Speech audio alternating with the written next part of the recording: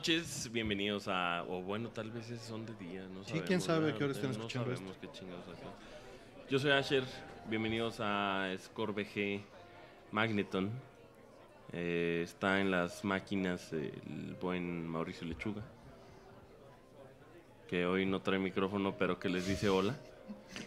También está madreadísimo del lado este opuesto de la mesa este Lorenzo Grajales. Un chino. Hola, ando bien enfermo, pero aquí. Anda aquí con Lo que pasa es que aquí me estoy quedando en casa de Artemio, acá de Filover, ya nos bajé a la sala y ya estaban grabando, entonces... Andas, oye, Ar- Artemio, ¿qué tan encajoso es este aquí? No, Lorenzo? esto eso no. Leve. Me ¿sí? la paso en la calle, güey, chambeando, güey. Ah, el chamber. Juntas. El Juntas. También está con nosotros Artemio Urbina, como lo acaban de escuchar este en un rato. ¿Qué tal? Buenas noches, ¿cómo están? Mira, aquí su gato de Urbina está desconectando todo, güey. Neco Café. Meco Café. Oye, este. Bienvenidos a Score VG, el podcast de música y de videojuegos. Hoy les tenemos este. eh, buena música. Hoy este, estamos esperando a que llegue Rollman. Dice estar atrapado en el tráfico, pero este. Atrapado entre una mujer. Oye, eh, Renzo, ¿cuánto tenías sin venir? Al score. Muchísimo, ¿no? Así yo, yo digo que, que- De hecho, este. Como seis programas que hacer como dos años, ¿no? Desde el programa número uno, güey. O sea, hace dos, dos meses, güey. No, pues lo que pasa es que antes, o sea, intento venir cuando vengo de viaje, intento venir ya desde lunes o martes para grabar o score. O, o Let Me Tell You Podcast. Let me tell you podcast, sí. A ese sí va. Pues cabrón, si hacen score, güey, vengo, güey. Hoy yo Pues les es dije que- vamos a hacer score. Oye, lo cabrón. hicimos por ti, cabrón. Pues Oye, aquí hasta, cre- estoy, hasta crees que lo hacemos tan seguido, ¿verdad? Sí? ¿no? Es lo que le digo, pues el pasado creo que grabamos el Atomics Arcade y el Atomics Arcade todavía no sale y ya estamos No, grabando no, otro score. Oye, ¿qué pasó? No, pues es que sí hemos estado ahí en Gamers Media en una situación No, ahí pero de- normalmente de- no pasa eso. No, no, no, no.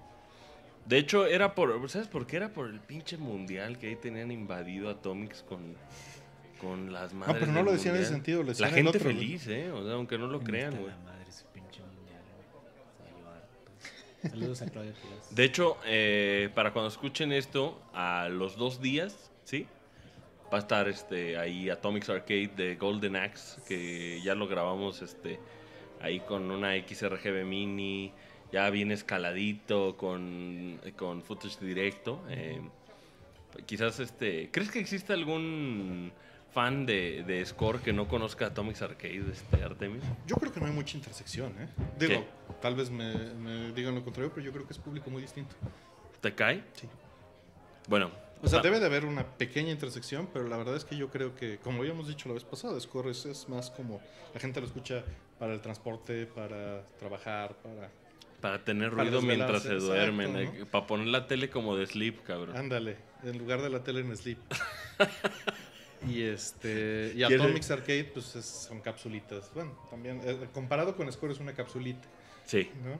sí. Y es, es justo venimos a, a los headquarters de Artemio Urbina y eh, nos ponemos a jugar algo. Artemio al principio hace una introducción del hardware.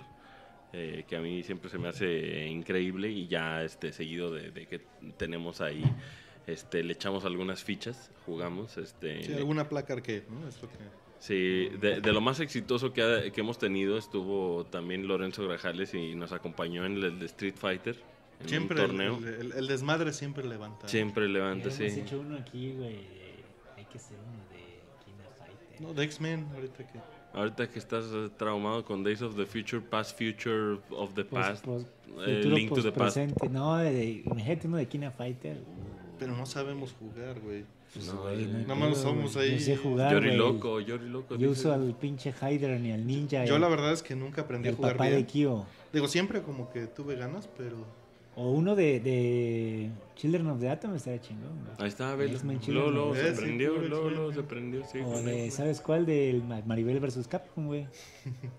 ya. ¿Sabes con cuál yo creo que la reventaríamos, Artemio? Por más que a nosotros se nos, Pero, ¿Y nos por qué parezca... queremos reventarla? güey? No, Se pero, trata de- no, yo sé, yo sé, pero, o sea, lo que estoy diciendo es, yo creo que sí explotaría ahí la gente con una de los Simpson. Y Híjole, no, no, yo- no yo saben sí me lo... caería de Güey, aburrimiento. pero es que Yo también, güey, yo no creo que me duermo. ¿eh? El juego no está O sea, tan está Yo bueno. padre. sé. Los dos primeros detalles están padres, pero ya después es de, híjole, pues ya córtale, ¿no? Sí, el primer stage es, muy bonito, El, ¿no? el fin de semana, Oye, aquí te piden tu mero mole, un third strike, güey, estaría chingón. Third. Strike estaría chido, sí. El, el O sábado no, ¿sabes cuál, güey? vino el Vampire alacrán. Warriors, güey. El pinche Darkstalkers, güey. ¿Vino el alacrán? Vino el alacrán, estuvimos, saludos allá al- al alacrán. Sí. Estuvimos jugando y él quería, este, casi nos aventamos puros, puros beat 'em ups, fíjate. Nos aventamos este Cadillacs and Dinosaurs. Estaba aquí Lechuga también, que, que ahorita no puede hablar porque no lo escucha. Bueno, podría un ratito en lo que llega Ron. Que es, es, mal, es malísimo, Que cae. cade- No, no, no. Yo creo que el único juego que no- el único juego que no- Yo, yo estoy de acuerdo, es, y a eso justamente por eso lo estaba comparando con Simpsons. El juego es muy bonito en su presentación, el audio está muy bonito, me gusta mucho más Punisher. Pero, Salió en Sega CD. Mario Bros. Pero se vuelve aburrido, igual que, perdón, Habiendo- con habiendo- toda la disculpa que me merece, Alien Predator también en Alien este Predator es de problema. mis favoritos y la última vez que lo jugué contigo, ¿te acuerdas? Estabas Dije, no, me estaba- ya me cayendo, estaba dormido, güey. Así ya, güey, con babeando, güey. Es que está ya- larguísimo, güey. es que el De, de problema. estos beat 'em ups, ¿cuál tú dirías que es el Dungeons mejor? and Así? Dragons. Dungeons and Dragons es una maravilla, nos lo aventamos después. Yo me lo aventé con Urbina como en cuatro horas, cabrón, no mames. Es- y este güey. sábado, ¿cuánto nos tardamos en el Dungeons? Que como dos horas, dicen. Sí. Dos horas, dos Y horas. estaba feliz el, el- el Adrián. Está increíble. Y el alacrán, un saludo. Sí, a este. Está feliz. increíble. También que jugamos Sunset Riders. Sí, Sunset Riders está Alonso. bonito porque está corto, güey. El Sunset Riders está Oye, ¿y se sacó de onda ahí el alacrán de, de ver las cosas como se debe o...? Nah. O sea, le- cuando al final, o sea, dices del arcade, del arcade no Sí. tanto, pero después jugó, estuvo jugando Super Nintendo ahí arriba, entonces sí le, sí, Sí. se trabó con eso. Sí, sí dijo, híjole. Ahí ah, le puse Zelda así directo ya. Sí, el Link to the Past. Sí, con eso cual. ya. Con eso calles a cualquiera, ¿no? En ese... Sí. Yo, yo hoy precisamente estábamos estrenando la XRGB Mini ahí de la oficina. Y te decían, se ve igual. No, no, es... Es que mucha, mucha gente de primera impresión, hasta que no lo comparas, es Hay, hay, sí, sí noté algunos confundidos, pero eran muy pocos. O sea, por ejemplo, me dio mucho gusto... Pero eso porque trabajan en equipo, eh, me- trabajan en video, pues, si estás capturando en compuesto. Me dio mucho gusto ver a, a Claudio Quiroz decir, no mames que así se ve, güey. O sea, como, como diciendo, otros sí, sí estaban acá confundidones de, ¿qué pasa? ¿Y, y estabas usando componentes o estabas usando compuesto? Componentes. Ah, bueno, para que así se ve el RGB también. Eh, pero sí, no, es un, ya, ya que un, ya para nosotros, este, viejos tercos, pues ya no sabemos todo, hemos vivido, este, buscando esa respuesta a lo largo de todos estos años y finalmente llegar a, a la cúspide de- tanto de las dos vertientes, tanto del PBM como del XRGB Mini, pues ya, ya me siento, este, completo, ya es como una vez eh, un tío cuando tuvo su primer hijo me dijo, ya me siento completo, pues hoy- ahora yo le puedo decir, yo me siento O completo, sea, sí cabrón. jugaban los europeos y los japoneses desde el 89, 88. Y nosotros... eh, no Sí, mamá, ahí en tu no. compuesto con tu cable amarillo que nos vendían. Sí, no mames, no, no, no. ¿Qué pasó ahí, Artemio? O sea, Pues es que a nadie le importó la calidad de este lado y pues nunca se implementó un formato de RGB aquí. pero eso, o sea, ¿quién decide eso, güey? O sea, ¿quién Comercialmente, pues sí, nada más porque... Ay, se ve chingón el no, amarillo. empieza a sacar, eh, tal vez salió algún producto por ahí, no vendió lo suficiente y dijeron, esto no vende, quítalo. Así como el Super Audio CD o como... ¿Sí me explico? Simplemente si no se vuelve popular, no tiene sentido y lo cortas. Pero los europeos sí lo mantuvieron. Los europeos lo mantuvieron. Japoneses también. También. Cada uno con un estándar distinto de cableado, pero O sea, si tú, si tú en Japón comprabas un... un- una tele tenía un, un conector SCART. y los cables, o sea, si tú compras un PlayStation 1. Pues ahí no te he enseñado mis cajas, tengo cables originales. No, yo sé, pero los traían así. No, el- no, lo comprabas aparte. Así Mm. como el de componentes hoy en día, Sí. Eh, igual. Digo que es tristísimo que, que estemos así, ¿no? Ya por lo menos hasta esta generación, hablando de la generación de Play 4, ya tienes un cable HDMI, pero la generación pasada no te daban un pinche cable HDMI. Yo Te hace- seguían dando compuesto, cabrón. cuando se me chingó mi PlayStation 3, eh, compré uno nuevo. Del nuevo, del que ya es parrilla, ya tal cual, güey. Eh, trae cables de, de compuesto, fíjate. Eso, eso sí, Sí. se me hizo ahí. Pero es lo normal, sí me sentí back to the 90s, güey. Está cabrón, ¿no? Y, y fíjate, cuando, cuando yo cambié componentes fue cuando salió el Play 2. ¿En qué fue? 2001, ¿no? Ujú. Más o menos. Yo como el Dreamcast, güey. El Dreamcast Tenía no RGB, güey. sí. RGB, tenía Dreamcast, ¿no? VGA Box. Sí, su- Eh, tiene sí, sí VGA y. RGB y ese video, el Dream. Y este, Sí, de hecho lo probé en un PBM que acabo de adquirir, un 2530. Y el Dreamcast lo usaba con ese video, güey. Y el Dreamcast todo lo usaba con ese video hasta el 2001. En 2001 brinqué a, a componente cuando se podía, porque nada más fue el Play 2, fue la primera consola. Y después nos movimos al GameCube. Y en el GameCube en aquel entonces no era un problema conseguir cable de componentes. Ujú. Entonces, pues, El Leak Sang. exactamente. Lixang. Yo importé el mi cable de JPEG. A mí componentes todavía me tocó Lixang. Lixang. Eh, debo confesar así, Asher, el culerillo ese que ven en la tele y todo eso, el, el que ustedes dicen es super gamer, pues no tiene cables de RGB, ¿no? O sea, ese, ese yo No, podría no decir que él, él veía fútbol. ¿Quién? por RGB. Asher, no, no, no mames. O sea, yo lo que estoy diciendo es.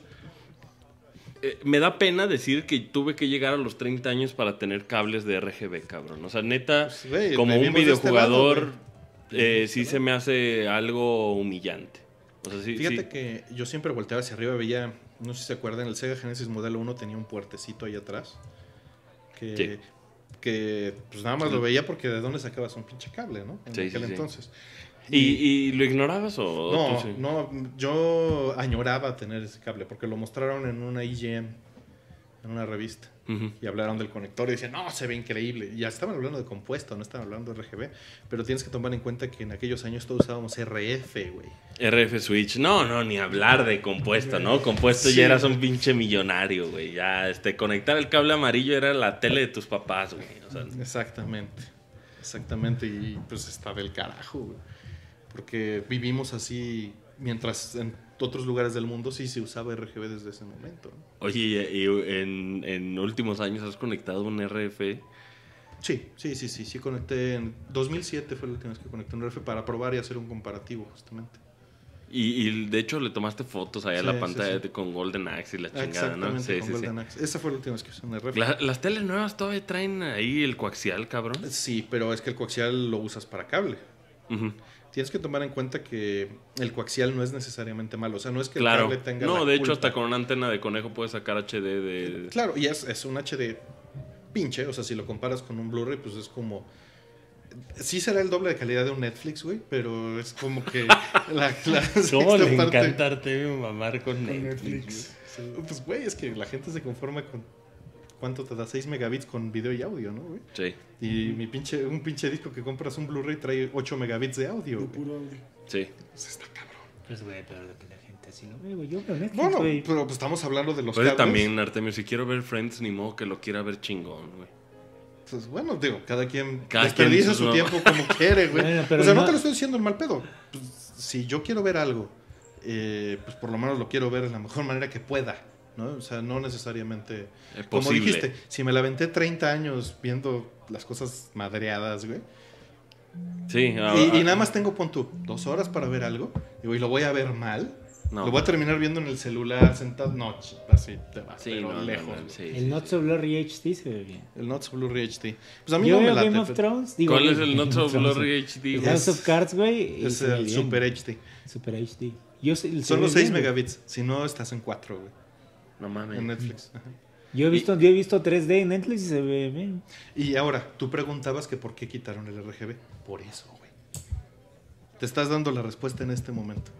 Porque a la gente no le importa la calidad. O sea, en- hablando en un sentido general. Te acabas de responder. ¿Por qué va a desaparecer el Blu-ray? No, pero es que Artemio Urbina de, de compuesto a, a componente o a Ah. RGB, cabrón. ¿Has, es, un, visto? es un salto abismal, cabrón. Y- Es más, de super video a RGB, güey. Sí, sí. Y te aseguro que es lo mismo. Saltar de un Netflix de 4 o 6 megabits a un Netflix. O sea, hablando de un movimiento, hablando de una escena como el desfile de Innocence, por ejemplo, no se ha de ver una carajo en, este, en Netflix. No. Porque cero definición. Tú tienes que tomar en cuenta cómo se comprime el video. La escena del desfile cuando me la pusiste la primera vez. No, no mames, sí, no sé. Y esa madre viene a 48 megabits en el Blu-ray. O sea, si viene mamadón. Es lo más cabrón que has Digo, visto. también hay que tomar algo en cuenta. O sea, el video, y ya nos estamos yendo a otras cosas. Si pero esto está, fuera- eh, les encanta escuchar pero esto. si esto fuera un compressed, o sea, tú, tú tienes que tomar en cuenta que es un video. Un video es una secuencia de fotos, ¿no? Que estamos hablando de 24 fotos por segundo. Ujú. Cada foto, 60 si es de Last of Us Remastered. pues, bueno, estamos hablando de video película, Ok. ¿no? Además eso, el puto Netflix no puedes ver las cosas 24 cosas por segundo, lo bajas a 60, desentrelazado y convertido. Bueno, yo no hago más corajes ahí. eh, te regresas a que tienes 24 fotogramas por segundo. Y los Ujú. fotogramas son de 1920. Este, 1920 por por, por 1080. 1020, por 1080. Ujú. Si tú multiplicas eso, son 2 megapíxeles, son 2 millones de píxeles. Cada uno de esos píxeles son 8 bits, o 16 bits, o 24 bits. En este caso estamos hablando de 24 bits. Ujú. Haces esa multiplicación, es un chingo de información cada una de esas fotos. ¿Ok? Entonces tú lo que haces es que comprimes ese video. Si, si el video fuera un compress, estaríamos hablando de unos 200 megabits por segundo. Lo que necesitarías para, para reproducir el video sin compresión. RAW. Ajá. Y eso lo estamos comprimiendo a, en un Blu-ray, por lo menos 4, 6, 8 veces. De hecho, lo normal son 12 veces. No mames. Y luego, en Netflix, eso lo divides todavía entre 10. No, pues ya ahí te queda una mermelada, ¿no? Y, normalmente lo que se hace en estos algoritmos de compresión, o sea, no digo que sea malo, es eh, tomas promedios de la información que normalmente eh, se considera eh, despreciable o no perceptible. Dices, ay, pues ¿para qué quieres 10 tonos de rojo? Digo, estoy diciendo una cosa, si lo puedes hacer con dos. Es como los emuladores que latinaban ahí al pues color. eso, eso es por una parte, ¿no? Pero si tú tienes en una imagen y tú lo has visto, tú agarra un, un BMP o un PNG con un degradado de 256 colores, de 0 a 256, en rojo. Y eso lo pasas a GIF, ¿qué le pasa? No, pues ahí le empiezas como a... Ahí le bueno, fui al caso extremo, ahí le partes la madre, porque GIF es indexado y a fuerza tiene 256 Ujú. colores. Pero si fuera una imagen de 4096 y la bajas a GIF, o si agarras tú una, una rejilla de una línea blanca, una línea este, negra, y la pasas a JPG, ¿qué le pasa? Pues se artefactea ahí. Exactamente. bien y ese artefacteo, ¿de dónde viene? El artefacteo viene de que la compresión se hace en patrones. Y se dice, bueno, aquí estos cuatro píxeles, en lugar de que sea blanco, blanco, negro, negro, pues mete blanco y se va a repetir dos veces, y negro y se va a repetir dos veces. Esa sería una compresión muy este, propia. Otra es, pues el siguiente color es 10 veces más oscuro que el actual. ¿Me explico? y así le vas haciendo. Cada que, cada que voy a darle save for web a mi Photoshop me voy a imaginar a estos culeros que están diciendo, pues ahí pon al pinche Asher ahí sus, sus imágenes madreadas, ahí ponle sus, No, pues es, es- sus es un- patrones, esos ah, random. Güey, cuando haces eh, eh, cuando haces un save for web, yo, yo en cierta forma, digo, no lo, no lo manejo de esa manera, pero cuando estás programando para una consola, pues tienes que considerar ese mismo limitante, ¿no? La consola solo tiene tal paleta de colores. Claro. Y cómo haces que se vea bien esa imagen en esa Pues ahí le vas. Exacto. Y luego tienes que, tú lo vas a comprimir y dices, puta, esta madre me hizo promedios aquí asquerosos. Te regresa a tu original, lo borroneas y lo vuelves a comprimir. En los save for webs actuales hay maneras de ahí mismo estar empezando a Bueno, editar. ahora imagínate hacer eso con 24 cuadros por segundo por dos horas. No, no mames. Bueno, eso es lo que se tiene que hacer para hacerlo bien. ¿Y si lo hacen, güey? Hay, hay, hay remasterizaciones que lo hacen y hay otras que no. Hay otras que nada más le dan save for No web mames, y y, cuando, te lo y avientan. cuando ya sale el máster del Blu-ray lo besan, Y yo ese es creo, el ¿no, Blu-ray. güey? ese es el Blu-ray. Luego agarran el del Blu-ray y alguien más tiene que hacerlo, convertirlo a 12 veces menos para meterlo a Netflix. O a un DVD. Eh, sí, claro. De hecho, un DVD, no digo de, de que se vea igual, solo te estoy diciendo, tiene el mismo bitrate que te está dando Netflix. Hay que tomar en cuenta, antes de que se vuelvan locos con ese statement, que la tecnología de compresión que se usaba en DVD es muy inferior a la tecnología de compresión que se utiliza en Blu-ray. Se aprovecha mejor el ancho de banda hoy en día que antes, ¿no? Claro. Pero el- la cantidad de bits que estás mandando en un DVD puede ser hasta 9. Y Netflix son 6. Digo, hay que tomar eso con grano de sal porque no es una cosa lineal. Entonces la moraleja de esta historia, tú que dices que es este lechuga, este, no ver Netflix. No, claro. Yo le quiero que la moraleja es que vamos a una rola que llevamos Vamos, media una hora. rola. Y ya no, pero aburría a todo el mundo. Ya, No, yo, yo sí estaba- yo sí sigo, ¿eh? aquí en el Vita, bueno, ahorita pues ahorita lo su voy a seguir. ¿cómo ven, cabrones? Vamos a seguir hablando de video y si les gustó.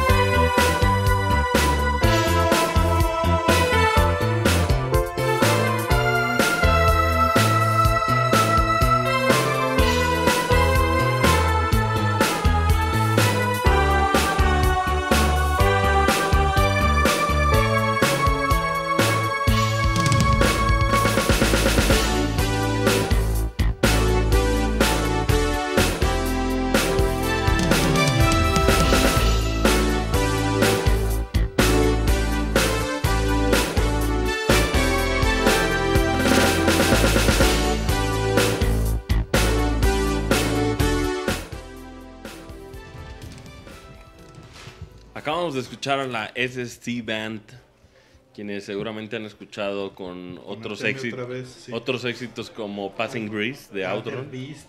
Altered Beast, y acaban de escuchar algo de Fantasy Star 2. Así es, es, es la música que se escuchaba en el demo. En este, o sea, es un RPG de 1989, si no Sí. me recuerdo. 90 América. ¿90 América? Sí. Ok. Que cuando lo dejabas en la intro, primero se veía un como desvanecido. Que en aquel entonces yo lo veía increíble, pero pues es nada más se van apareciendo los píxeles uno a uno por paleta, como lo, lo hicieron.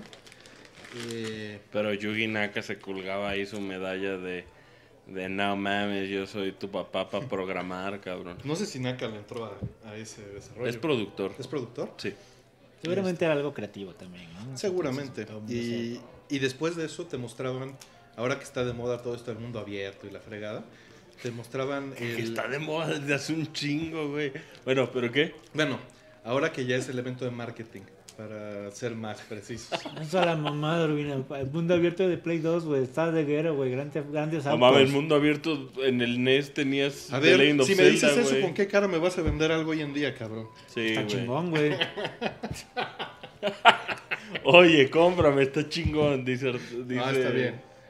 Oye, Güey, yo no te recomendaría un juego que no te gusta, Rubina. Yo creo que güey, las cosas que te recomiendo, que ni juegas, cabrón, como Vanquish, güey. Pero créeme Pero que sí le so- jugar, pero güey, créeme no, que le sobra que jugar, güey. Sí lo va a jugar, güey. Nada es más un que- backlog como de 10 años, Puta, cabrón. cabrón, güey. No, guay, de No 10 años. ¿Sabes qué es lo que normalmente respondo? Y ve el paréntesis del paréntesis que tenemos. güey. Lo que normalmente respondo cuando me dicen, güey, ¿por qué no juegas tal? Porque tengo por lo menos 6000 juegos en backlog desde hace 30 años. güey. No mames. No que posea, sino que quisiera tener. Eres el rey del backlog, cabrón. Oye, ¿y, y ese número lo dijiste así al azar o Es- más o menos lo tienes como ahí? Tengo, o sea, de que yo sepa, tengo por lo menos mil, mil cachito en backlog, así, Sí, seguro. pendiente. Y pues ahora échale lo que no ¿Piensas conozco. mucho en esto, Artemio? O sea, Lo ¿piensas que mucho necesitas, en... Rubina, es enfermarte así cabronamente. Una enfermedad que tiene unos 3 meses en cama, güey.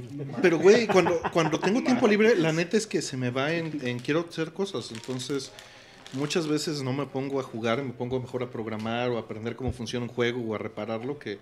Y ya cuando me canso de eso, entonces ya digo... Yo nomás voy recogiendo la vida, las putas morusas que va dejando Artemio Urbina. Pero te acabaste en Other World en que 3 horas, güey. No, güey, como en una hora. Pues, Porque pero yo me lo sé. memoria, güey. güey. Sí, exacto. Me costó todavía un poquito más, güey. Pero Porque tenías más tiempo de no jugarlo. Pero regresando, a te salía un mapa de todo el mundo y la cámara iba paneando encima de todo el mundo que podías recorrer. Y en aquel entonces Fantasy Star 2 te vendía eh, tres mundos. O sea, imagínate, tenías tres planetas para explorar en Fantasy Star 2. Ujú. Y en el mapa, en esta música no me está mostraron el mapa del primero. El juego venía con una guía, porque en aquel entonces dijeron, esto no lo podemos vender así. No, y sobre todo librito. porque, y sí sabes por qué, ¿no? Porque, a ver. Había una situación donde eh, a Sega eh, tuvo, que, tuvo que hacer en el soporte de imprimir los mapas y todo eso. Y pues se dieron cuenta de que muchos de esos usuarios, eh, sobre todo pues gringos, porque aquí en México hablabas y te decían chinga tu madre, básicamente, Pues pero aquí ni había distribución Ajá. oficial, güey. este, lo que la gente hacía. Y digo, yo sé que Fantasy Star 2 ya no tiene los dungeons tal cual first person como los tenía El este, ujú. Fantasy Star 1. Pero lo que sucedía ahí era que la gente, algunos como Artemio Urbina y otros, pues sí dibujaban su mapita, cabrón. Pero después, pues ya ahí la, la gente le. O sea, ya. O sea, se dieron cuenta que, que al igual con Earthbound, o lo que pasó con The Legend of Zelda Link to the Past aquí en, en América, es que tenían que darle este ahí a, a los usuarios algo, ¿no? O sea, tenían que darles algún tip para que pudieran seguir en el juego, o cualquiera de estas cosas. O sea, no era nada amigable en un RPG para, para Occidente, Artemio. O sea, yo creo Sí, que. no. Yo creo que sí fue una situación donde inclusive para los japoneses han de haber dicho, esos güeyes están bien babosos para jugar este RPGs. Seguramente. Eh, y además te venía todos los mapas de todo el juego. O sea, ya te venía el Todo, strategy guide, todo, toda, toda, Todo, toda. todo. Eh, y venían los enemigos, los stats de los enemigos. ¿Y cómo venían? ¿Así en librito? Así. Era un librito completamente a color, como de 200 páginas del tamaño del cartucho. Tres cuartos del cartucho. No cabía adentro, venía afuera.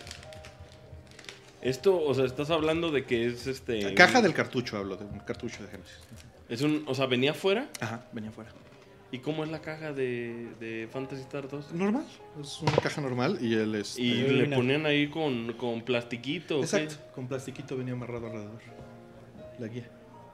Que también puede decir que fue una decisión tardía, ¿no?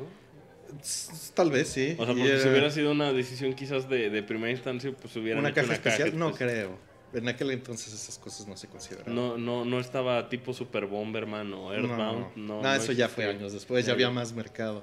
Eh, y era un cartucho de 8 megabits para ese momento. Que lo cual era muchísimo, Claro. ¿no? O sea, Imagínense, es un megabyte. O sea, para aquel momento es, es muchísimo.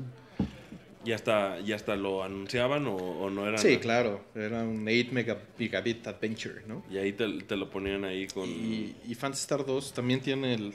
Aquí tengo a Ney enfrente. Renzo yo creo que va a poner una foto, no sé. Ah, no. No, dice no, me vale madre, Ney. chotas. Oye, Este, pero este, también aquí lo, lo manejaban, digo, cuando vemos la portada eh, occidental, mm, pues nos el damos arte cuenta de, de, este- que el arte, el arte animesco, pues se lo pasaba. No, pero sí sabes este arte de... de- No me acuerdo el nombre, carajo. ¿Cómo ¿Quién se llama este cuate? Rieko Kodama? No, no, no, no, no. El arte americano. Es, es una persona muy famosa. Es este Vallejo. Ah, sí. El arte es de Vallejo. Eh, y también el arte eh, como el de Golden Axe, etcétera. Wow. O sea, le, le metieron, a pesar de que el arte japonés lo quitaron por completo y el cartucho japonés está bien bonito, eh, Sí, le metieron- le metieron, como que dijeron, esto va para la gente que lee cómics, ¿no? Así como que es de, es de leer y de pensarle, entonces... Y la portada está súper los broncos, ¿no? El- Sí, sí, está Gentleman Broncos el pedo. Y este, y Phantasy Star 2, ahora sí que fue, no quisiera spoilerar a alguien tantos años después, pero ahí estuvo nuestra Eris, ¿no? De, de una generación anterior. Claro. No, y de hecho es considerado como este un juego avant-garde en ese, en ese sentido de, de que Es muy cruel en muchas es muy cosas. cruel, ¿no? O sea, sí, sí se ponía a matar personajes así. Y Eh, también te contaban historias, así, la gente que ibas a rescatar los pueblos, y tra- tú tratabas de llegar a arreglar el, el asunto y terminaban muertos todos, ¿no? A pesar de que habías llegado a ayudar. ¿Tú, ¿Tú cuál dirías que es el fuerte de, de, de Fantasy Star? Porque yo conozco ¿De toda a la los, serie? los fans De- Fantasy Star, creo que el, el 2 es su favorito, ¿no? Posiblemente también es el mío. También el online, el uno, güey. El online el uno me gusta, pero ya es otro tipo de juego. Sí, Es ya es- no en tiene nada ¿te que ver, que ¿no? O sea, Fantasy no, Star sí, Online yo diría que no es nada... Pero la historia sí tiene, güey. Sí, sí, sí, sí, sí, bueno, hay, hay pero misiones, güey. se refiere al juego. El juego no tiene nada que ver. No, pero sí, por ejemplo, salen la- las armas de Ney, güey, para... Claro, y... Pero es un pretexto, ¿no? O sea, Fantasy Star Online, digo, está increíble, sí. Sí, sí, pero es el setting. Es, es como se, actual- se actualmente se manejan muchas cosas, ¿no?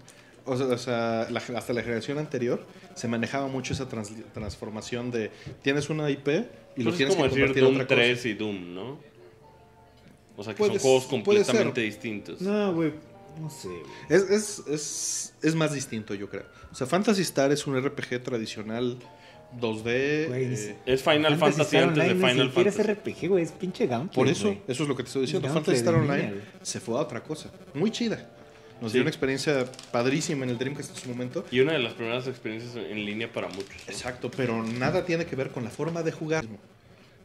Y los elementos son los mismos y las referencias. Y la música es increíble. La sí. música es A mí padrísima. lo que más me gusta de Fantasy Star en general es el diseño, güey, espacial, güey. Fantasía, ¿no? Ajá, como es- eh, fantasía sci-fi me mama, güey. Y casi en juegos no hay muchos juegos que usan eso, No, güey. no hay mucho que Y sea, hasta también- la fecha no. Y que sé no. que ya, por ejemplo, como en el online, güey, que todavía lo manejaron, güey, que es el maguito, güey, pero así como robot, güey. O sea, ese está súper chingón, güey. Ese. Ese. setting. Destiny. No, güey, no es lo mismo. Digo, güey. podrías preguntar también cuál es el setting, o sea, ¿qué pasa? Se supone que en Fantasy Star estás en un planeta que todo es perfecto. Si alguien se muere, lo puedes clonar. O sea, todos sus datos están guardados. Y incluso cuando tú te mueres, o se te muere alguien de tu party, regresas al pueblo y ahí está el elemento de clonación, pagas una lana y te clonan y te lo dan de nuevo. Así, es Así como de funciona. estrene a su novia. Pues casi, casi. Eh, siempre y cuando estuvieras dentro del sistema. ¿no? Eh, el detalle es que empieza a haber como biomonsters, que son monstruos que llegan afuera de los pueblos y empiezan a matar gente. Y no se sabe por qué. Hay una computadora que es la Mother Brain, que se supone que es la que controla todo esto. Y tu quest empieza, tú eres parte de la policía, del gobierno más bien, y empiezas nada más tratando de resolver problemas. Pero evidentemente después te vas metiendo y te das cuenta de lo podrida que está la situación y vas escalando. ¿no? Ahora, Artemio, este- este tipo de RPGs, o sea, nada más para poner en perspectiva, pues, eh, digo, es, es contemporáneo a Final Fantasy o a, o a Dragon Anterior. Quest. Es- eh, o sea, Es- Final es- Fantasy No, yo 3. lo que estoy diciendo es que, o sea, fue primero Fantasy Star, creo que por un mes, ¿no? Es algo así, son como muy, sí, muy sí, sí, cercanos sí. a la salida, pero ninguno está ¿no? influenciado por el otro. Hasta quizás Seguro- Fantasy Star 2. Sí, exacto. Fantasy Star 2 ya hubo una influencia de regreso, sin duda. Sí, pero... eh, Pero el sistema de combate. ¿Estos sigue siendo RPGs de cuántas horas eran, Artemio?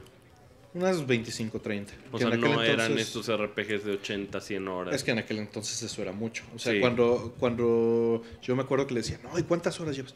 No, llevo como 20. No mames, pues estás mal, cabrón. 20 horas. Sí, exactamente. Chrono Trigger te lo puedes aventar en 20 horas sin pedos, güey. Pero, o sea, ¿estás de acuerdo que Chrono Trigger, eh, Renzo, no, tampoco es como, como los RPGs de hoy, cabrón? O sea, Chrono Trigger, y yo me acuerdo que en su momento decías, no mames, esta madre nunca se acaba, güey, pero, o sea, para los de ahora que dicen, no mames, me eché 120 horas, güey, así, y lo dicen tranquilos, así, bajita la mano.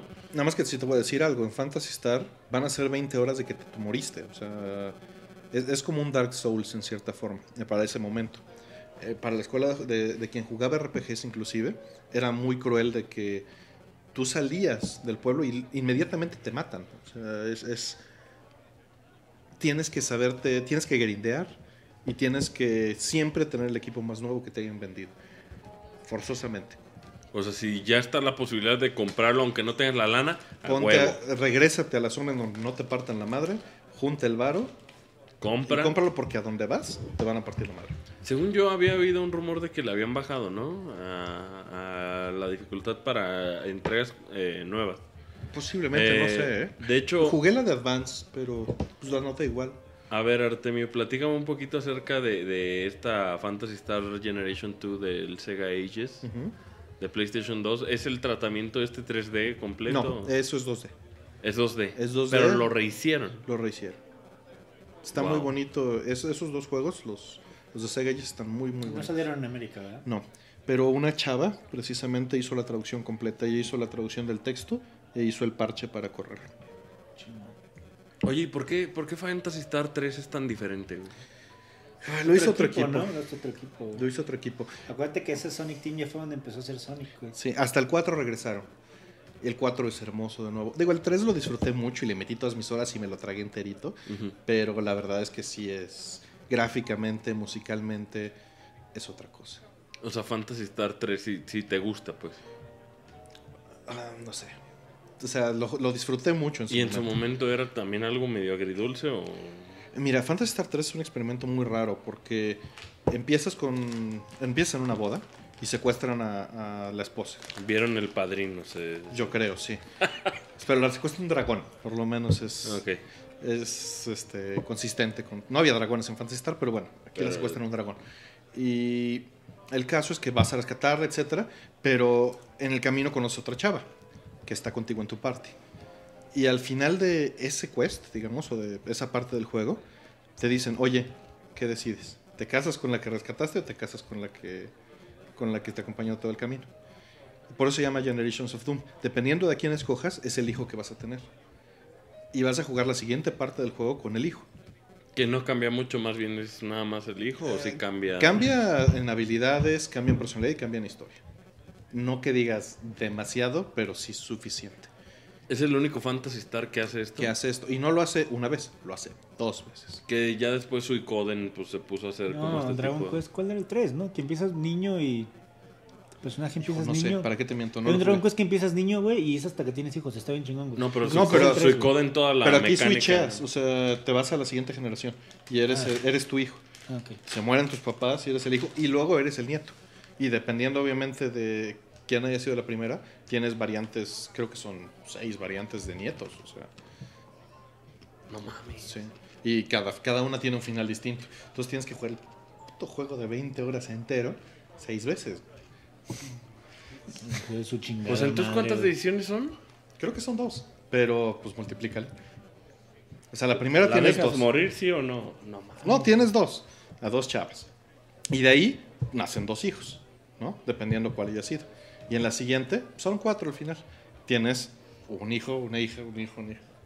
¿Con ellos o no? Sí. O sea, ya vas tomando los diferentes papeles. Sí, sí, sí. Cambia la generación y pasan 50 años y eres otro y juntas otro, otro party, entre comillas, porque algunos de tu primer party son robots, entonces los puedes seguir llevando. Oye, ¿y los fans de Phantasy Star 1 no extrañaron el pedo de, Del- del, de- dungeon? Pues quién sabe, como no eran tampoco, no había internet, brother. Entonces, No había fans. No había fans. éramos como seis fans. No, y era, y era caro, ¿no? Tengo entendido. Digo, ya acá en el No. Sega Genesis ya era normal, pero En cuando el salió en el Master System, pues Phantasy Star era algo ahí medio avanzado, ¿no? No sé. No sé. Digo, yo, yo cuando lo jugué en Master System, lo compré en un mercadito usado, el, mi Fantasy Star. Entonces, pues no me costó caro, porque no era popular. Oye, Artemi, ¿qué tan caro es? Hoy en día, Sí, un Phantasy Star 2, o sea, japonés o... no, japonés es muy barato. Ah, Japonés son muy 200 baratos. varos, ¿no? Sí, no, japonés sí te puede salir 50, 100 pesos. Pero gringo, pues yo creo que unos 40, 50 dólares, creo. Igual estoy diciendo una tontería. A ver, vamos a ver.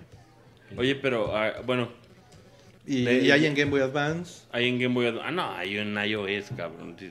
Tu mamá. Tu, tu mamá, cabrón, sí.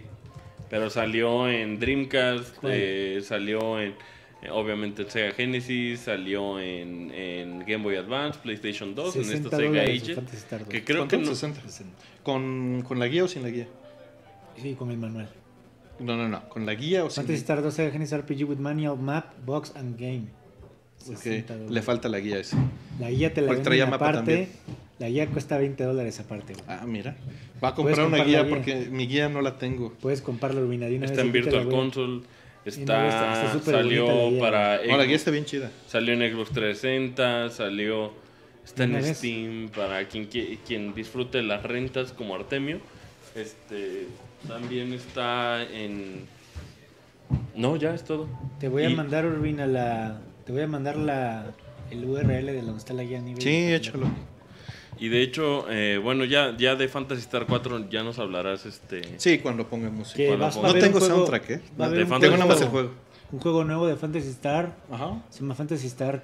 ¿Qué, güey? ¿Quién el- No, no, espérate. Nova. Creo Nova, que es Nova, Nova, ¿no? Nova. Que es para Vita y que es el primero. Ya ves que siempre ha sido online, online, online. Y es el primero en que ya tiene un modo de historia, tal cual un RPG y un modo online. O sea, Es- eso me puede atraer. Está chingón, que tenga su modo single player. on- eh, ¿Qué te historia. pasa, güey? Fantasy Star Universe.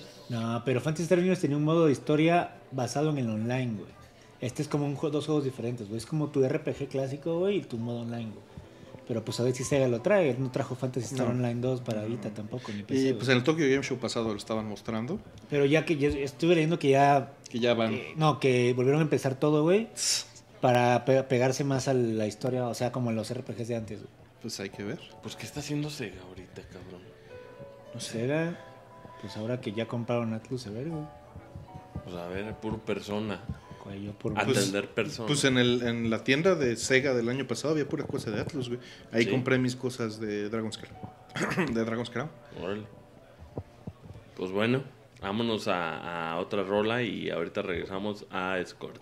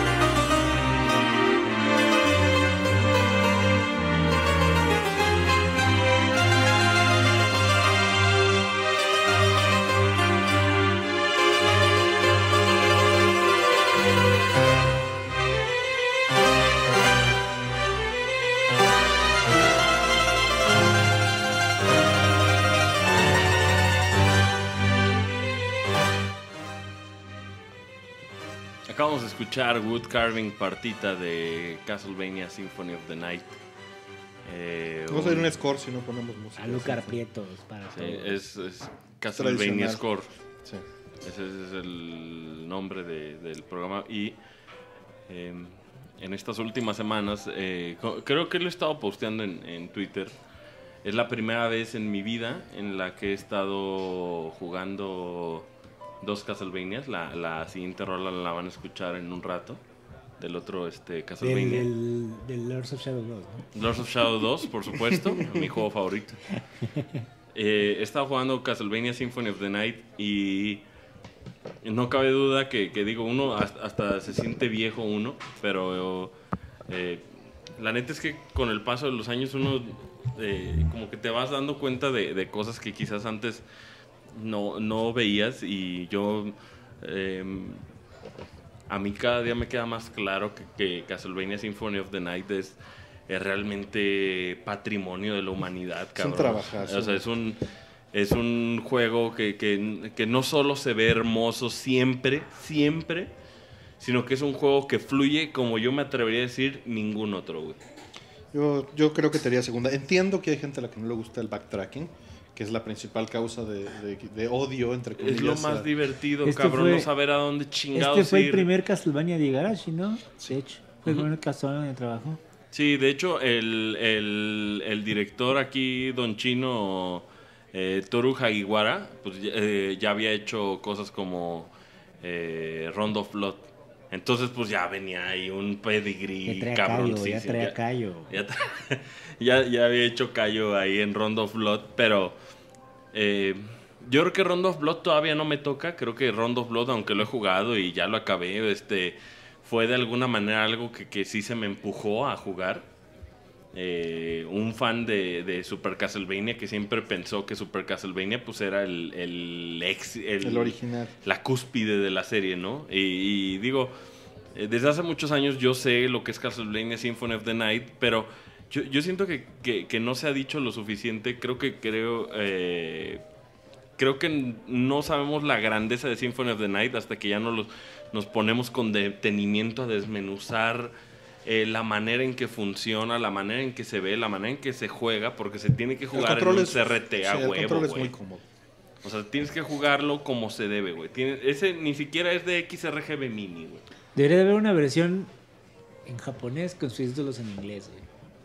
A mí sí me gusta Yo la traducción. Rollman, eh, a mí también me encanta. Sí, está chingona por Es que, ropitera. hay- güey. hay- mira, hay que separar dos cosas. La traducción es muy buena. El problema es la actuación de voz. Eh, Aparte, nunca oyes a nadie. De vez en No, cuando te mames, topas pero- a María, Pero güey. el japonés, no mames, la voz de la voz está poca madre, no sí. mames. Pero la traducción, fíjate que es muy interesante. ¿Sabes quién la hizo? El pinche tu amigo, ¿no? Este güey. Tu el- amigo, tu cuate. Sí, sí, sí, le hizo. mi- digo, es mi conocido, pero Tu no. amigo, güey, tu chile, tu funda. No, tampoco. Nos está oyendo, no sé. No, no es cierto. Como es Jeremy Blostin. Es llama, Jeremy ¿no? Blostin, sí. Sí, o sea, está bien, güey, pero el japonés, cabrón. Por ejemplo, la, el japonés, la rola, güey, de Crystal Caverns, creo que está cantada en japonés, creo que es No, esa. no, no, la música no está cantada en Hay una japonés. que sí, güey, en el soundtrack viene en japonés, güey. Sí, una- pero en el soundtrack, pero, pero en el disco no, huevo que sí, güey, ¿no? ¿Seguro? Lo único que cambia es la actuación de voz y los textos, ¿no? Que obviamente, pues si tienes el problema de que como es semi-RPG, pues tienes que entender algo de katakana o pues... Yo, la- yo, yo de hecho lo empecé a jugar japonés, güey. El, el primero, la primera vez que lo jugué, lo jugué japonés. Y no puede pasar cuando compras el pendiente que abre la puerta azul, güey. Ahí estuve como un año, güey. Como un año hasta que salió un gringo, güey. Que dije, ah, no mames, qué pendejo, güey. Me regresé al japonés, güey. Y lo acabé japonés, güey. Y luego lo acabé como 10 veces. Y lo acabaste nada más al castillo normal, porque también lo leías. y- No, exacto, güey. Ya después lo acabé y vi que otra así me, me fui campachando entre los dos, güey. Creo Que la verdad disfruté, disfruté mucho el, el audio en japonés, güey. Está increíble Sí, las la voces de, de, de Alucard, güey. En estos, digo, ahorita, perdón, Artemio. En estos últimos días, pues he estado, he estado jugando, he estado saltando entre estos dos Castlevanias que estoy jugando al mismo tiempo y que los dos los tengo bastante avanzados. Pero en esos inters, eh, quizás obligado por la falta de mi HDTV, o sea, por, por este eh, encontrar como alternativas de, de cosas que, que digo.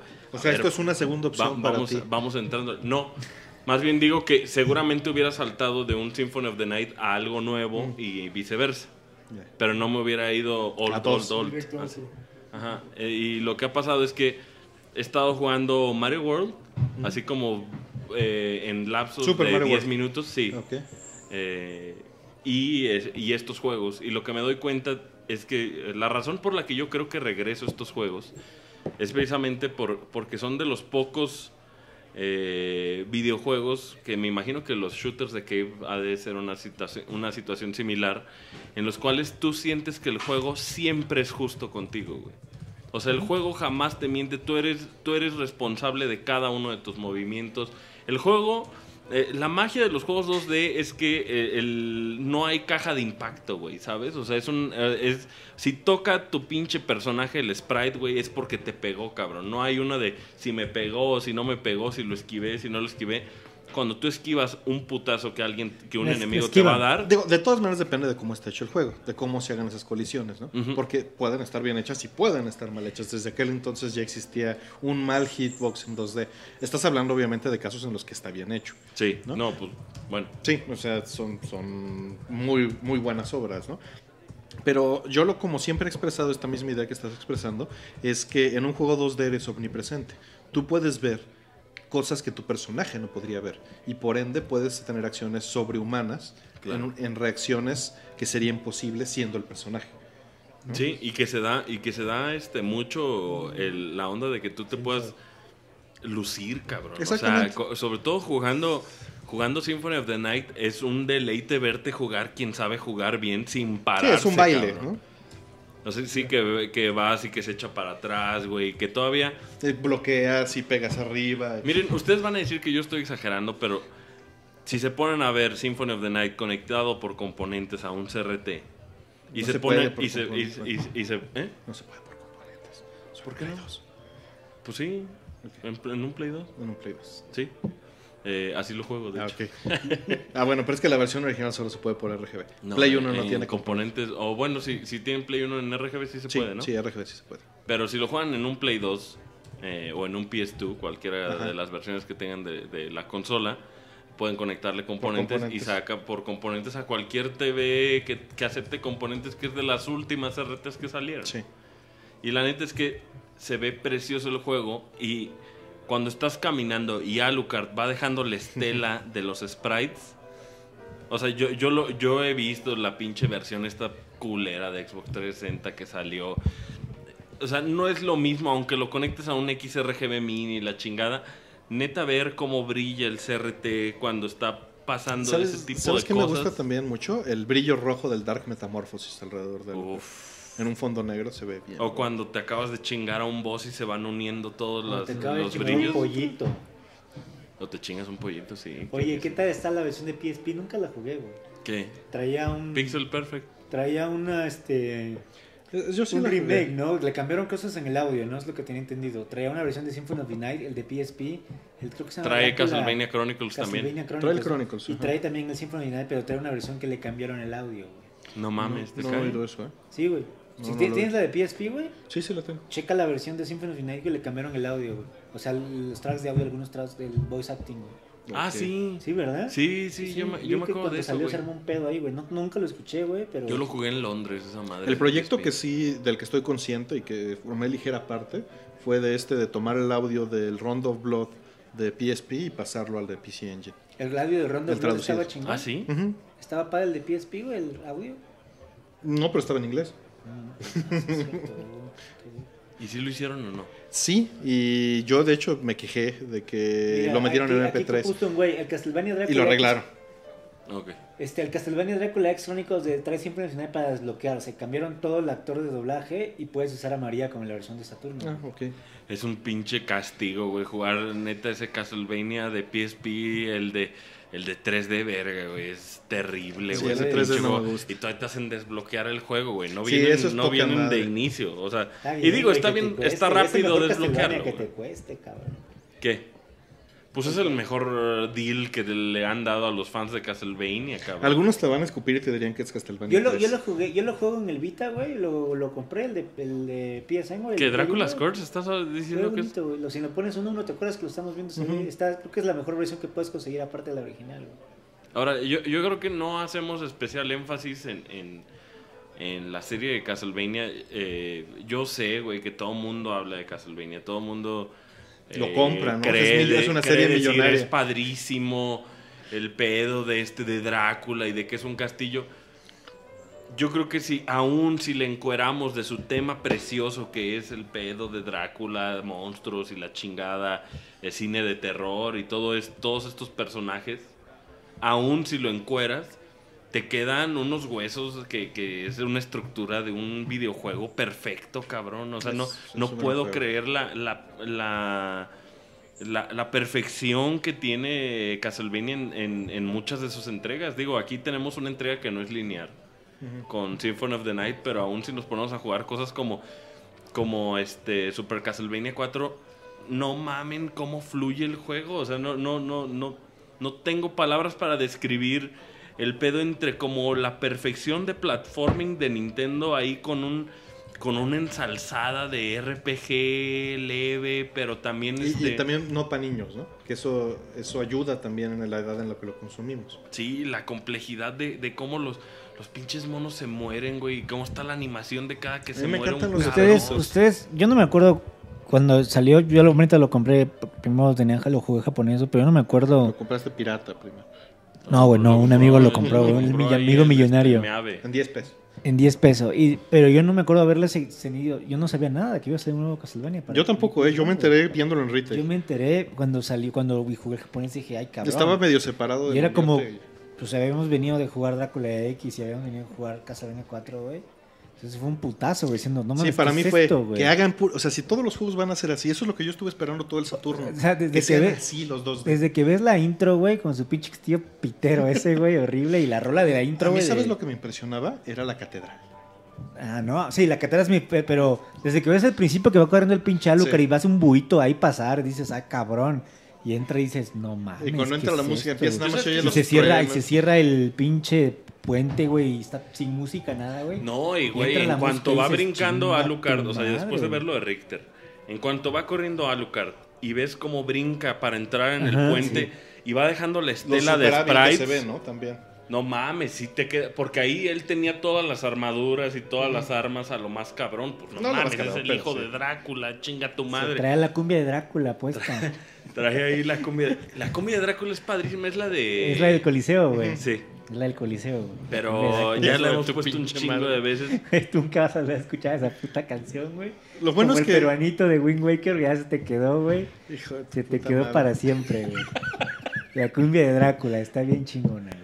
Oye, Para que se acuerden de Renzo y le mienten la madre cada vez que la Te oigan. echa a perder esa canción. Nada güey. más para, para este, recordarles algunos de los highlights del juego que, que quizás ustedes que, que no lo han jugado eh, en, est- en este año eh, no tienen como tan fresco. eh, ¿Qué tal ese momento en el que ya tenías un save point dentro de la librería, de la biblioteca, no? O sea, que no es al principio. ¿Qué tal el, el pedo de no sé qué hacer? Pues a ver, voy a la biblioteca a ver qué chingado, ¿no? Siempre era como, A como el joglear el- safe mode, güey, así A decías. joglear a Librarian. Que hay, hay un momento a en el juego donde no puedes avanzar si no vas a la biblioteca, que es Sí. cuando te dan el doble salto, güey. Dos veces pasa. Y yo para mí el momento más Ahí cabrón es estoy, cuando ¿cómo es? Te dan doble salto tienes que regresar a la biblioteca, güey. Ahí no puedes parte porque ya está la parte de los leoncitos de para Ajá, subir con Drácula. Arriba. No, no, no, no. No, no, no, vete arriba a la izquierda Arriba, la ajá, biblioteca. arriba te haces doble salto, güey, en una de las plantitas y ya llegas y avanzas, güey. ¿Y qué te dan ahí? Creo que el vampiro, ¿no? O el mist. No, el mist no, el vampiro. El mist creo que es el mist, güey. No, Mist. primero te dan vampiro. Vampirs. Vampirs. Hombres loves. No, murciélago, pues. Pero primero te dan murciélago y, y después te dan mist, ¿no? El mist creo que te lo dan Te en lo la dan biblioteca. Con el doble salto creo que es el mist, güey. Mist could pass.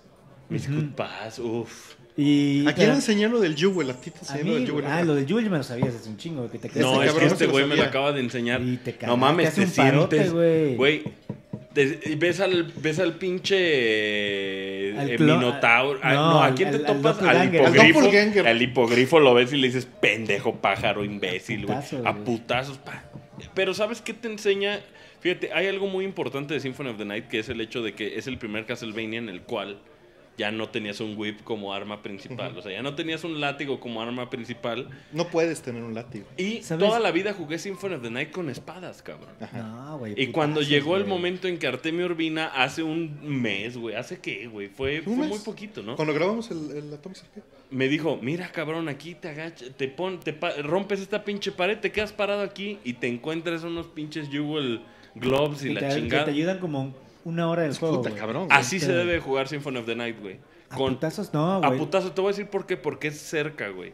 Si tú tienes la Es espada, tienes una distancia como, No, güey. como Mira, muy saludable. Lo que tienes que conseguir más bien es una espada que sea rápida. La Crisargrim, güey. No, bueno, madre, esa es una mentada un madre, truco, pero- Esa me rompe el juego. Sí, güey, o sea, ya no tienes, no tienes que ser preciso. Con una espada rápida puedes ser súper preciso, ¿no? Con la Porque- Rapier, güey. Ándale. Y la Rapier tiene ataque especial. ¿Rapier? Ajá, y tiene ataque especial. Las güey. combinaciones con los escudos, güey. Es que la Sí, cantidad de güey, secretos Shield, que tiene, güey. güey. Claro, güey. Güey, y esos madres nadie lo sabía, güey. No te explican, No, güey. pues no tienen por qué, güey. verga, güey. No mames, la parte del juego en el que ya traes la Crystal Cloak y que ya es transparente la cava, te la sientes acción. dios a la chingada, A güey. mí lo que me cagó de la versión gringa es que no trae los dos familiares extras. Sí, güey. eso se lo quitaron. ¿Cómo La es? otra ¿Cómo hada y el, y el demonio narizoncillo. Sí, pero no te sirven mucho. O sea, los, el hada nueva, eh, que es la que yo siempre uso, yo siempre traigo Fairy.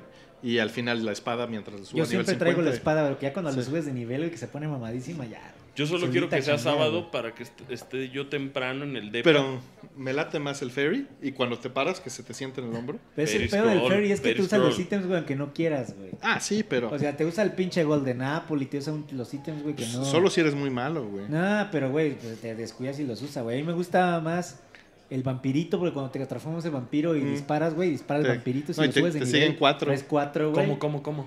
Si subes, ya ves que los familiares suben de nivel, güey. Sí. Que te recomiendo hacerlo en. Lo más rápido que puedes Ajá, con la güey, espada no, en, el, la los- En el catedral. principio que te salen los Mermans, güey. No, güey, no, no, no, no sabes lo que dices. Vete a la catedral Ajá. y hay una espada Ah, la- que ajá. tiene 10 espadas. Ah, sí, es cierto. Rápido. Haces Soul Steel. Ajá. No, güey. O en la catedral, No, güey. la entras y sales Soul Steel. Entras y sales Soul Acuérdate Steel. que en la catedral, la bola, si la matas, la bola, hay una, hay una cabeza que tiene una bola encima que si le pegas se va rodando, ¿te acuerdas?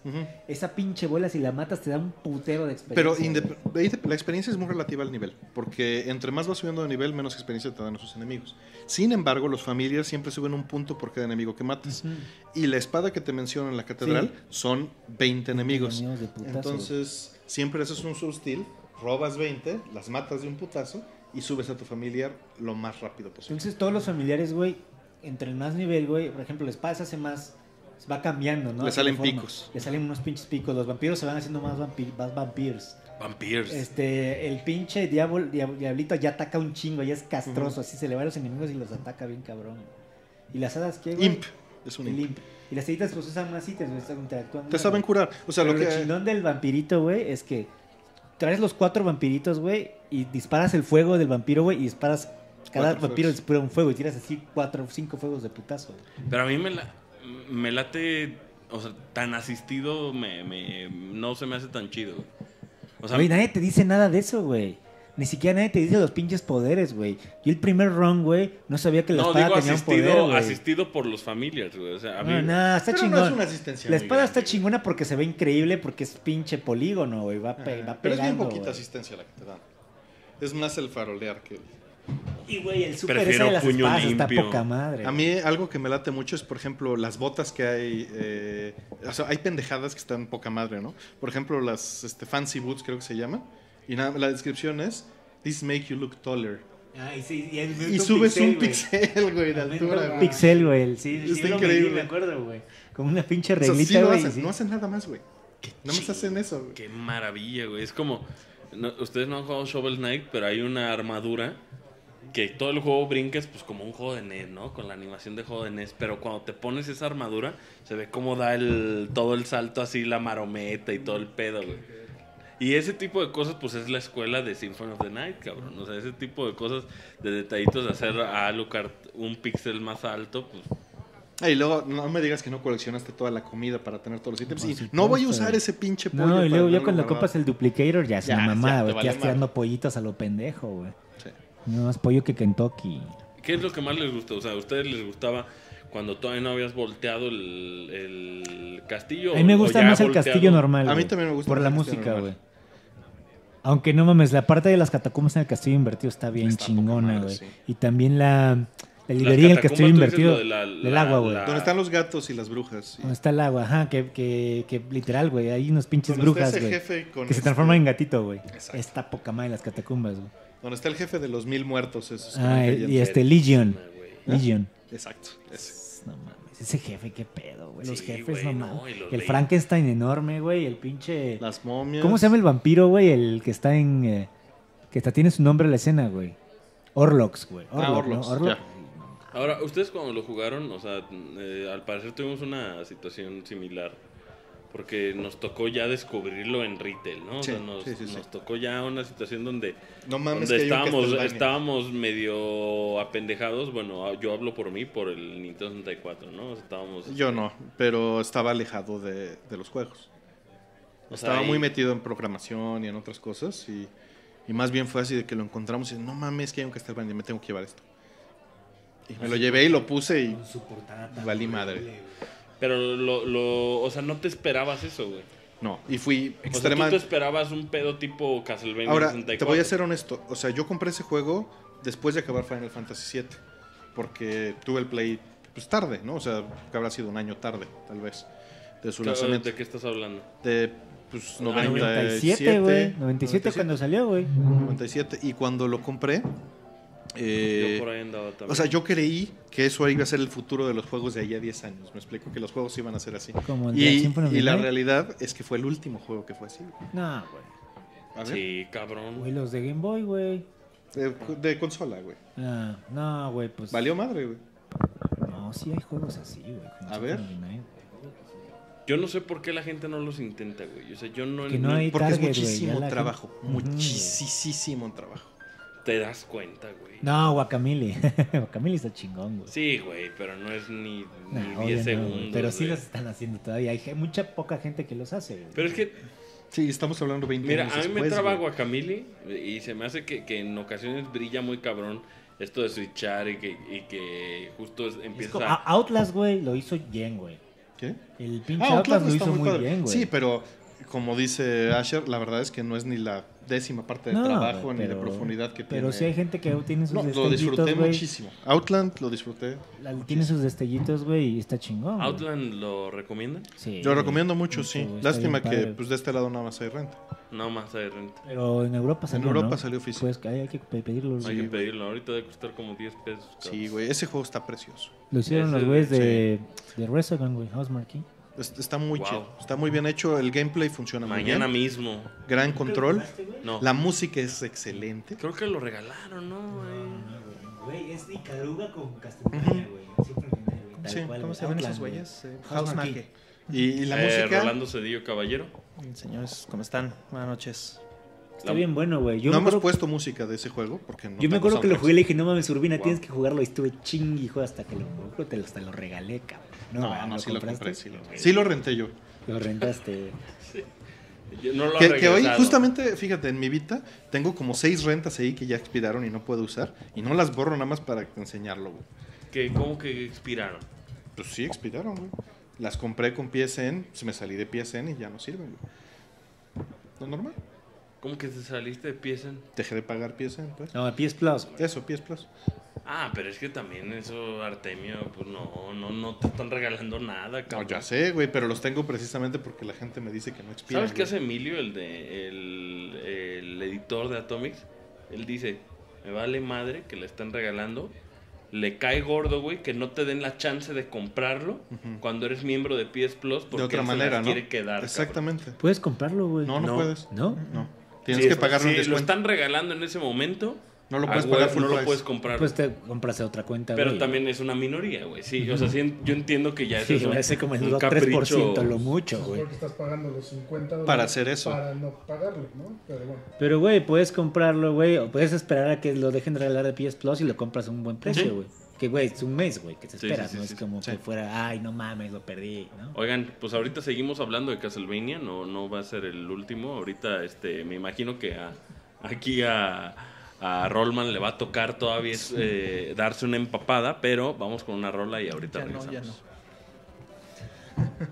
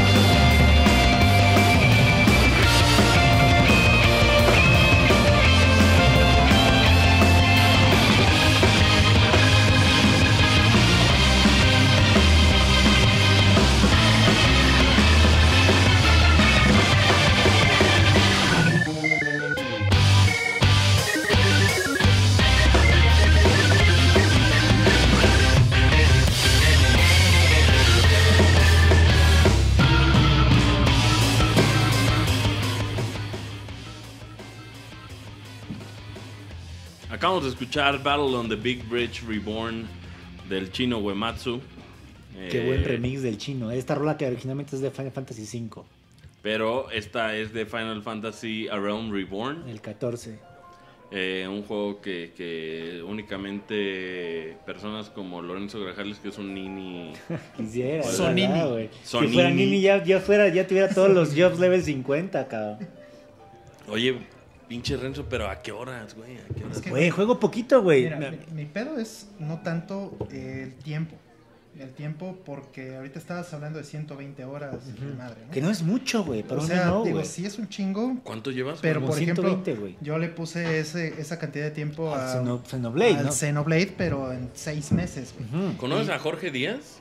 De, de, eh, uno de, de mis editores. No No sé. mames, ese güey es este compa de Paco Puente. Ahí verás. Ah, bueno, es que ya a nivel de Paco Puente está cabrón, güey. No, yo juego. Estuve un mes sin jugar, güey. Juego poquito, güey. Juego dos, tres horas al día y a veces me dedico a hacer un job de esos que no tienes que pelear más que hacer de esos jobs de trabajo, literal, güey. Que haces cosas, güey. Y está bien, o sea, la verdad es que es un juego. Yo creo que es un juego que salvó Square este año, güey. Square estaba muy mal. Y Final Fantasy XIV lo levantó bien cabrón, güey. La verdad se merece el- lo que es porque el juego está increíble. De hecho, el juego, yo vi el juego, la, la primera versión, que era una mierda, güey. estaba asqueroso. Güey, era una mierda, güey. Corrieron que- a Cambió de todos director. Parecía que lo había hecho Corrieron Bethesda, a todos, güey. Corrieron a todos. güey. Parecía de Bethesda, güey. Parecía un Skyrim. Lo que está chingón es que lo que, lo, lo que está chingón y lo hizo Se chingón. refiere a que está estaba. tan incompleto. Neta, o sea, para ser muy específico en lo que está diciendo. Neta, estaba bien culero, güey. Lo que que está lo van cabrón de, esa de- lo que estuvo muy cabrón de esa versión de Final Fantasy 1, la 1.0, güey, es que realmente terminó, güey. Y la historia termina, güey. O sea, lo que está bien cabrón es de que, ok, dijo Square, vamos a matar a este pinche MMO, güey. Y hubo un evento en el juego que cayó un meteorito en el juego, güey. Y tú te metías y se veía un meteorito que iba cayendo, güey, durante una semana, güey. Sí, el tema Ajá, de End of the World. ¿no? ajá, Sale el, el turbo Ajá, es- y cae un pinche meteorito y se mueren los servidores, güey. Se murió el juego, güey. Y el, y el Realm Reborn empieza con esos eventos de que se murió la chingada el juego y es... O sea, de- de- dentro, del- dentro del juego escuchas los eventos de cómo se murió la chingada todo el mundo, güey. No mames. Está bien chingón, güey. Hay un, hay un soundtrack que se llama Before Final Fantasy XIV que es los soundtracks de- del primero, Del primer. Final Fantasy. Está bien chingón. Y ahí te metes, güey, y literal, el mundo se terminó, güey. Y te, me- te, te metías, güey, y veías el Ahora, meteorito caer, güey, en el La, mundo, güey. la pregunta, poco, la pregunta es ¿por qué no se llama Final Fantasy XIV 2? Pues Explícame. Pues porque ya estaba muy confundido por el pedo del 13-2 y... No, no, ya si le metían más, más número. Y, güey, la verdad es que el juego es espectacular, güey. La modo, el modo de historia, el modo en que va progresando, güey. Empiezas así como un pendejín y... ah, Es lo que le decía ahorita al al Lerus, güey, que Leros. acaba el modo de campaña, güey, el modo de historia, nivel 50, güey. Y el juego empieza, güey. O sea, se abren un chingo de doños, güey. Se abren un chingo de cosas, cabrón. Y ahí te encargo, güey. O sea, ¿Qué tal de quests? Los quests están bien chingones. Super fanservice Y así. jobs. Jobs chingones. Yo soy Black Mage. Tengo cinco jobs. Black Mage. eh, el Alchemist. El, el pinche arquero, güey. ¿Los y el- combinas y el- en los nuevos estilos de Square o eres puro? Eres puro. Bueno, pero por ejemplo, para ser Black Mage necesitas tener como mago, como se llama Taumaturge, y 15 O sea, hay un árbol, ¿no? Ajá, hay un árbol. Pero lo chingón es de que puedes tener todos los jobs al mismo tiempo, güey.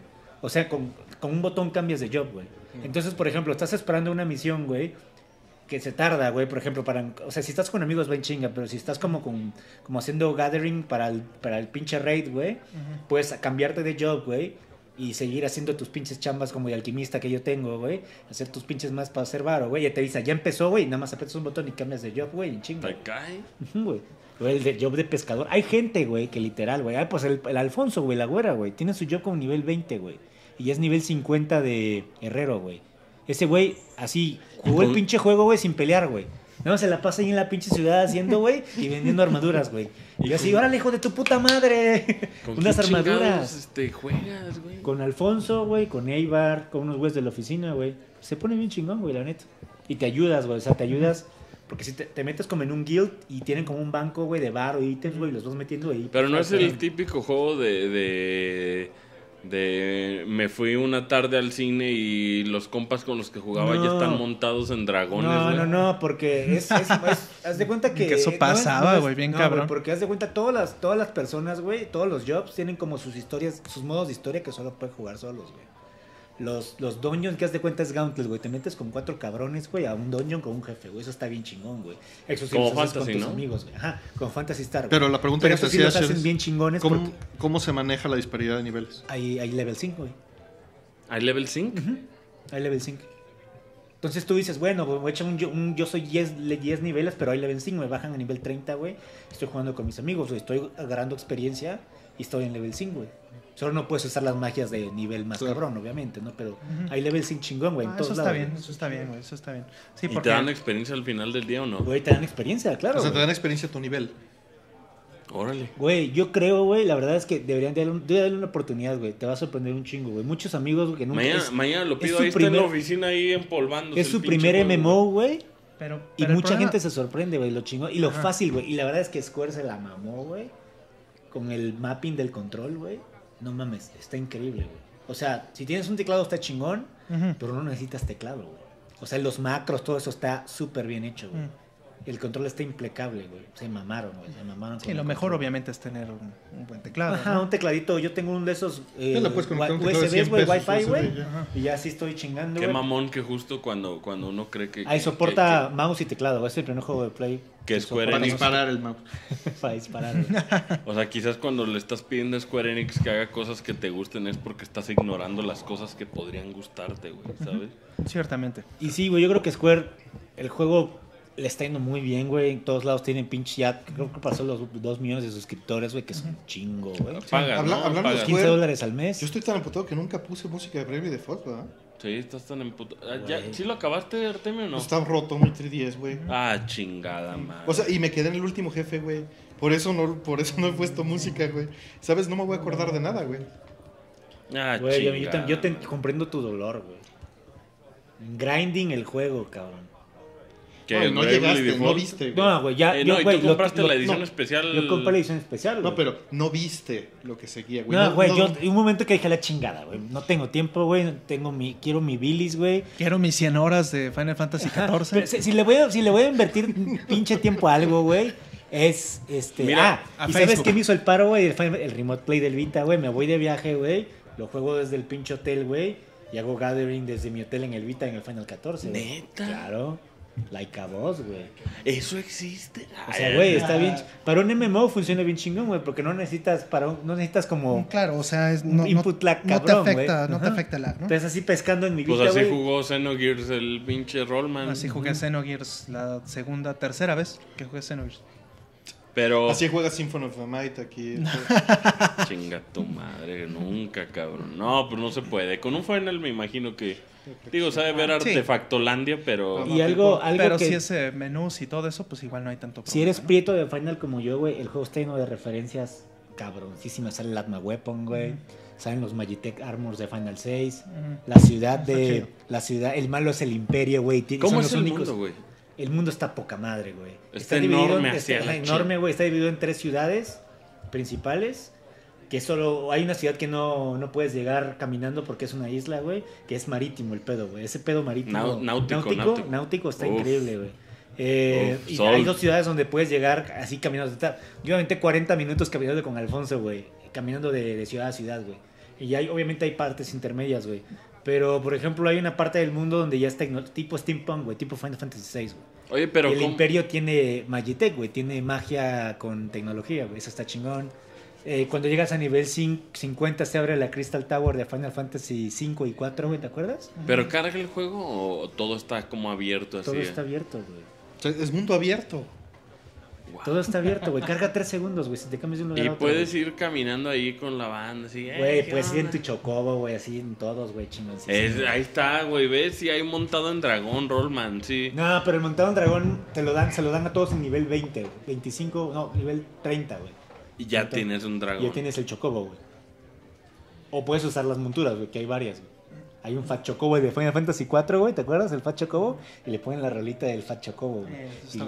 Está chingón. Sí, y tiene un chingo de fanservice, güey. Mencionan a pinche Genova y, y un chingo de cosas. Sale Sí. Vixie Wedge. Sí, Está bien, güey. Sí, el- eh, realmente para mí, por ejemplo, los, eh, los puntos importantes es, eh, como, como bien menciona ahorita Asher, ¿qué pasa si te vas ¿Cómo, ¿Cómo es la experiencia de, de ponerte en sincronía con tus cuates, con la gente con la que regularmente juegas en ese tipo de juegos? Y lo chingón es que yo, por ejemplo, lo juego. Como lo juego está chingón porque jugamos en el party chat de con voz de Play 4, güey. No necesitamos teclado, güey. Oye, y, te, y cuando tú lo compras te dan este ahí un trial. Un mes de trial, güey. Ahorita este fin de semana está gratis, güey. O sea, no, no necesitas pagar, güey. El fin de semana que pasó abrieron el mundo si se te acabó la suscripción. pero como sitio porno te piden tu tarjeta de Y lo chingón, güey, es que podías comprar la versión de Play, la versión de Play 3, güey, que costaba 20 dólares, cabrón. Y hacías upgrade gratis. Hasta el, hasta el 31 de diciembre puedes hacer upgrade gratis a la versión de Play 4. Ya no. No, o sea, ajá, después del 31 de diciembre de este año ya no. O sea, ahorita, si tienes la versión de Play 3, güey, y la metes a tu Play 4, güey, pones un pinche código que te dan en la página y ya, güey, descargas la de Play 4 Pero el gratis, güey. upgrade, ¿cuánto cuesta? Nada.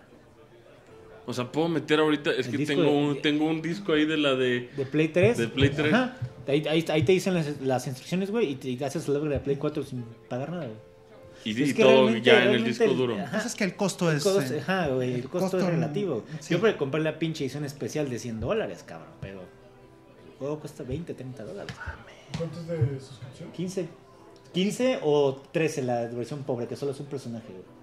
Y 15 la que puedes hacer hasta 8 personajes, güey. en un mundo. No mames, como ocho Güey, personajes, güey, güey. ¿cuántos personajes tenías No, de no, Fantasy sí, Star claro. Online, cabrón? tú tenías como no seis, mames, güey. Tenías el 18, tú tenías el pinche, tenías el Renzo, la robotina, Ajá. el 1800 Renzo, tenías un chingo El de personajes, pinche. Acapulco, ¿te acuerdas de ese güey? ¿Cómo que un 800? Así se llama mi robot de Fantasy. Star Online, güey. Y robotina se 800 llama. Renzo. Y robotina se llama mi robota, güey. Y era la chachita. Yo solo ¿te tuve Caer yo tenía mi fonio. ¿Cómo se llama? Caer Vanoja. Ah, igual, ya lo que está cabrón es ya para ser más prieto es, en Final Fantasy en este caso es nombre y apellido, apellido, güey. Pues puro Sephiroth, claro. Oye, Güey, a huevo, güey. Sephiroth, este, Highwind y así pura mamada. Strife. Strife. Strife Peña Nieto, Peña Nieto, güey. Otra vez vi un Peña Nieto, güey. Así Peña Nieto, no Bueno, mames. bueno, pero ¿qué tal en el Fantasy No mames, El Sol. Sergio Androide, güey. Le tomé fotos, güey. Peña Nieto, güey. Chingón. Y su copetudo. No, no mames. Peña Ah, Nieto maravilla. 8142. No, así Peña Nieto. Teníamos este en el Fantasy Star Online clanes que eran así la vecindad del Chavo del 8, güey. Estaba así, salió un monito que era la, la Florinda Mesa. Florinda Mesa. Salió el pinche Chavo del 8. Profesor Estaba- Girafales. güey, Estaba la el de la del clan Sergio Androide. Trevi Andrade, estaba Sergio Era Androide, un robot, güey. estaba poca madre. Oye, este, le voy a entrar a su chingadera esa de, de Square Y, y lo chingón es que los jobs cambian un chingo, güey. O sea, es jugar tanque, güey, está bien cabrón. Jugar mago o healer está súper cabrón. ¿Tanque? Tanque es el cabrón, haz de cuenta, como el paladín o el warrior, güey, que hace que todos los enemigos se le vengan a él, güey, y le empiecen a pegar. Y como se dice, jalar el agro, ¿no? Como se le conoce en el slang, güey. Entonces, si tú eres tanque, tienes que hacer cosas para que los enemigos se te vayan a ti, güey, y no ataquen a los débiles como los magos, güey. Tú como mago tienes que estar chingando, güey, así de lejos, güey, y como healer tienes que estar curando al tanque. Sí tiene un chingo de estrategia RPGesca chingona, güey. Puedes agarrar un pinche arquerillo pedorro, güey, o una Sa- sa- ¿Sabes qué me aliena mucho de los MMORPGs que seguramente se va a escuchar súper ignorantísimo? Que el menú tenga tantas madres No, en güey, en el pantalla, 14 está bien fácil, güey. Está bien Pero fácil. tantas letritas ahí. No, pero en el 14 lo El chat abajo corrientísimo, Puedes, no, no, no, lo puedes quitar todo, güey. O sea, hay un botón, güey, que puedes quitar todo, güey. Todo el interfaz. O sea, lo que, como lo que te molesta es la GUI. Ujú. Ok. La user interface sí me, me El parece. heads up display. Puedes quitar todo el, el heads of display si quieres, güey. Sí. Ya, güey, inténtalo, güey. Desde cuando veas el mundo, güey, te vas a cagar, güey. Vas a decir qué bonito está el pinche juego, Voy a intentarlo. my friend. My friend. Pero bueno. Esquiva. Oye, vienes Esquiva. esquivando a los carros, los estás golpeando. ¿Por qué, amigo? Amos una rola.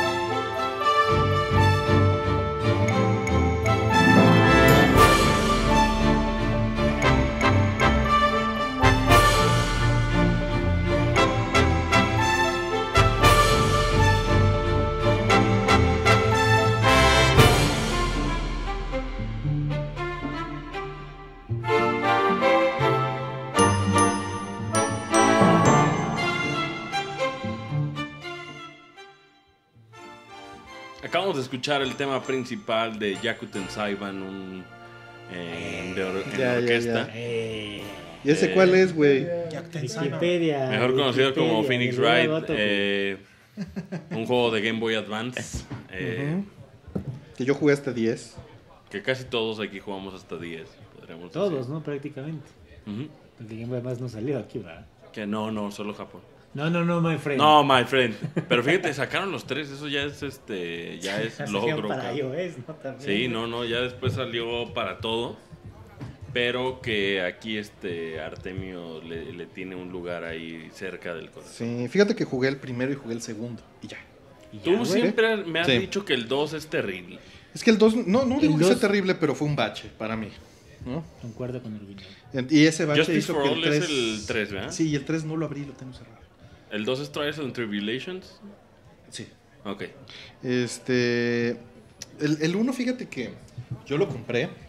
Y, y como le decía ahorita a, a Mauricio antes de, de ¿Quién es empezar a hablar, aquí la persona que está a los controles. Ah, ok. la, la amable persona que está en los controles. Lechuga. Eh, le decía que vamos a hablar de Phoenix Wright como si nunca hubiéramos hablado de Phoenix Wright, porque Órale. ya hemos hablado de Phoenix Wright varias O sea, veces. ya es el reboot de Score. Sí, ya, ya ahorita ya no importa, vamos a poner los tracks muchas veces otra Un vez. chingo. Al sí. fin nadie se da cuenta. Sí, ¿no? ni se dan cuenta. Ya se durmieron ahorita. Sí, no. Este, bueno, el caso es, este track yo ya lo había puesto, de hecho, pero pues es irrelevante. Eh, Phoenix Wright fue un juego que, fíjate, es, es- es una cosa muy rara, eh, lechuga, porque eres un abogado. Eres un abogado y trata de que estás básicamente en la corte y tienes que defender a tu cliente. Eh, y es un abogado de derecho. Eh, tú... O sea, para empezar, ya ahí es ficción. No, y es, es- es de esta corte.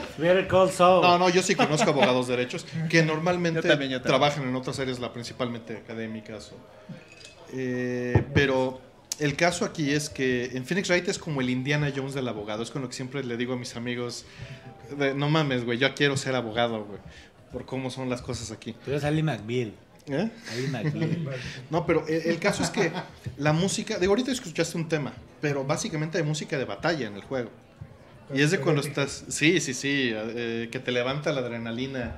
De repente estás en, en la Está corte. perrísimo ese puto Tú, juego. tú vas y haces tus investigaciones, ¿no? Inve- Y le preguntas a la gente en la calle de qué pasó, la fregada, vas a la escena del crimen, levantas tus datos.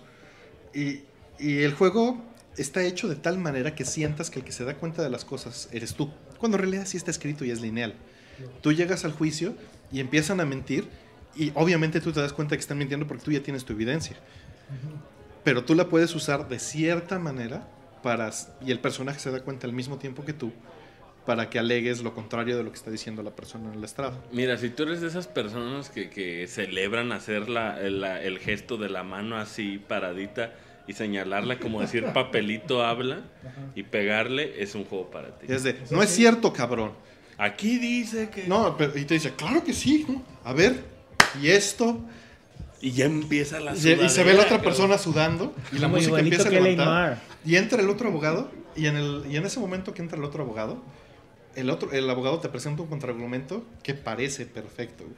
Y le da en la madre al tuyo, aunque tú sabes que está mintiendo. Aunque el, el contraabogado también es, es derecho. O sea, él más bien honestamente cree lo que está diciendo por las circunstancias. Y le tienes que demostrar lo contrario. Y al juez le tienes que demostrar lo contrario. ¿Cómo- Pero ¿cómo es el input? ¿Te dan opciones? Es que eso es lo que está bien cabrón. No es tanto que te den las opciones. Simplemente tienes que básicamente darle clic y funciona contextualmente. Pero por lo que tú... O sea, lo que te dicen es... "Mm, Tu personaje nunca te, te- No tiene una voz interior que dice, ah, esto no funciona así o la está cagando. Eso no pasa. Lo que dice es... Object, o sea, tú puedes hacer el objection, Con voz, si Con quieres. voz, si quieres. 10. Güey, si no con un botón le puedes gritar. Puedes ir en el camión y decir objection. Sí. Sí. Y en ese bajen. momento te dice el juez, a ver, preséntame la evidencia que contradice lo que está diciendo. Entonces nunca te lleva de la mano, aunque gr- tu rango de opciones es limitado, eh, siempre es con base a que tengas la evidencia. Nunca, nunca es este, tu personaje te dijo, es que no es así. Pero no es tan cruel como por decir este Papers, Please, que básicamente es la misma mecánica, pero aquí te dejan que tu familia se muera, la chingada de hambre, güey. No, acá, acá sí te paran en seco y te dicen perdiste. güey.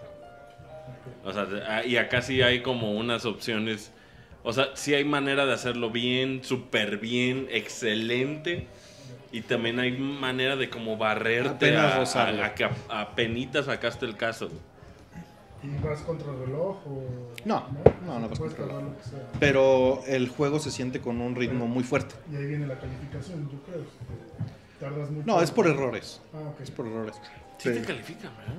Mm. No, realmente no. O sea, es súper lineal, pero Es pasaste o no pasaste, ¿no? la ilusión es muy buena.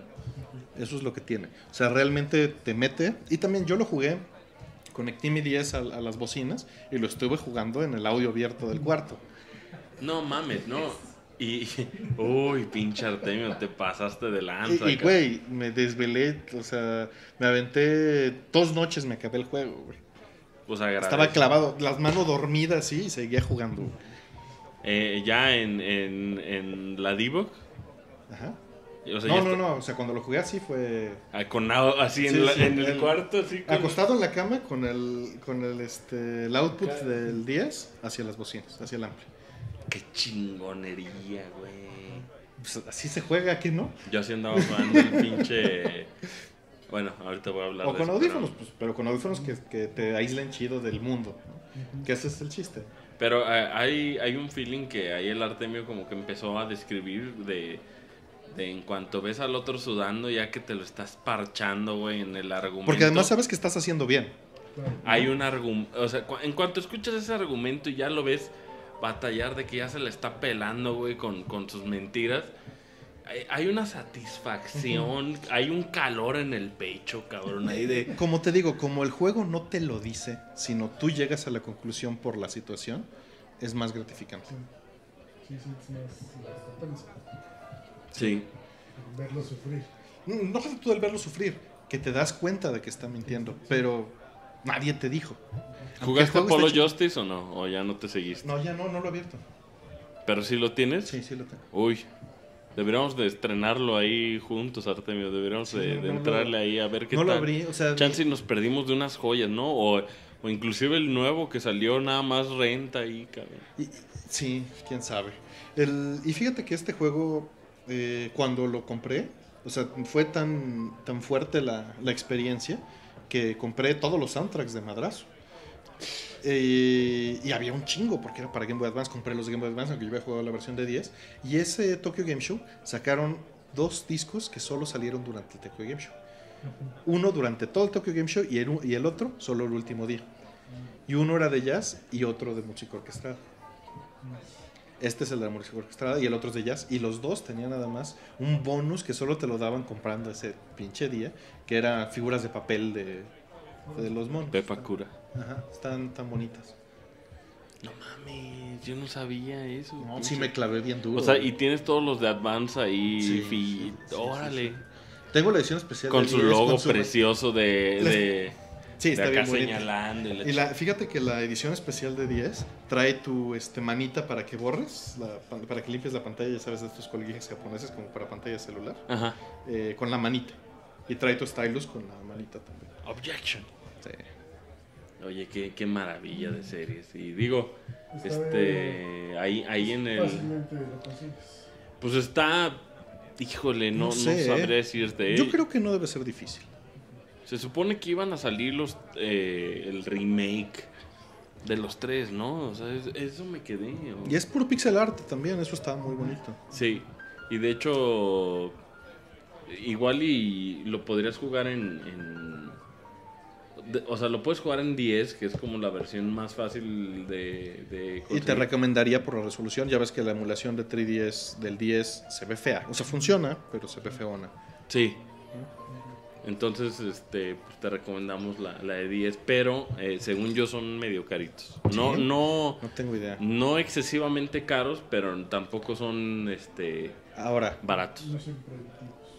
Ahora una, exper- una experiencia de esa misma línea que la que ya hemos hablado también, Hotel Dusk. Nada más que esa es una experiencia más personal, siento yo, ¿no? Eh, Más introspectiva. Hotel Dusk, pero Hotel Dusk también tiene mucho que ver. Es más de ambiente, más... No, fíjate que ahora que lo dices, la referencia es muy justa porque eh, Hotel Dusk, yo creo que el fuerte del, del juego también es como el, el guion, ¿no? Ajá, claro, claro. Y, en, y también en Phoenix Wright, o sea, no, no, o sea, Phoenix Wright es un poco Es un más lighthearted. Sí, es, es campy, ¿no? Phoenix Sí. Wright ya va ese... Y en cambio... Hotel eh, Dusk Hotel es serio, es, serio. completamente serio y... y- Hasta sientes un hoyo en el estómago cuando piensas en Hotel Dusk, ¿no? Sí, en, los Hotel 70s. yo, yo, ajá, es como los 70s y también es como una onda, este, mucho más sobria. Tú sabes, eh, tu personaje lo, lo, siente- lo, lo sientes como alguien ahí, este, frío, este, calculador, pero a la vez medio descuidado No, para, pero ¿sabes para qué? sí mismo. Pero sabes que en el fondo ese personaje, tú sabes que nada más está reservando. Se sí, siempre sabes que está siendo amable, ah, pero quién sabe, porque también puede ser un hijo de la chingada y contestar grosero. Sí, sí, Porque el juego te permite contestar grosero.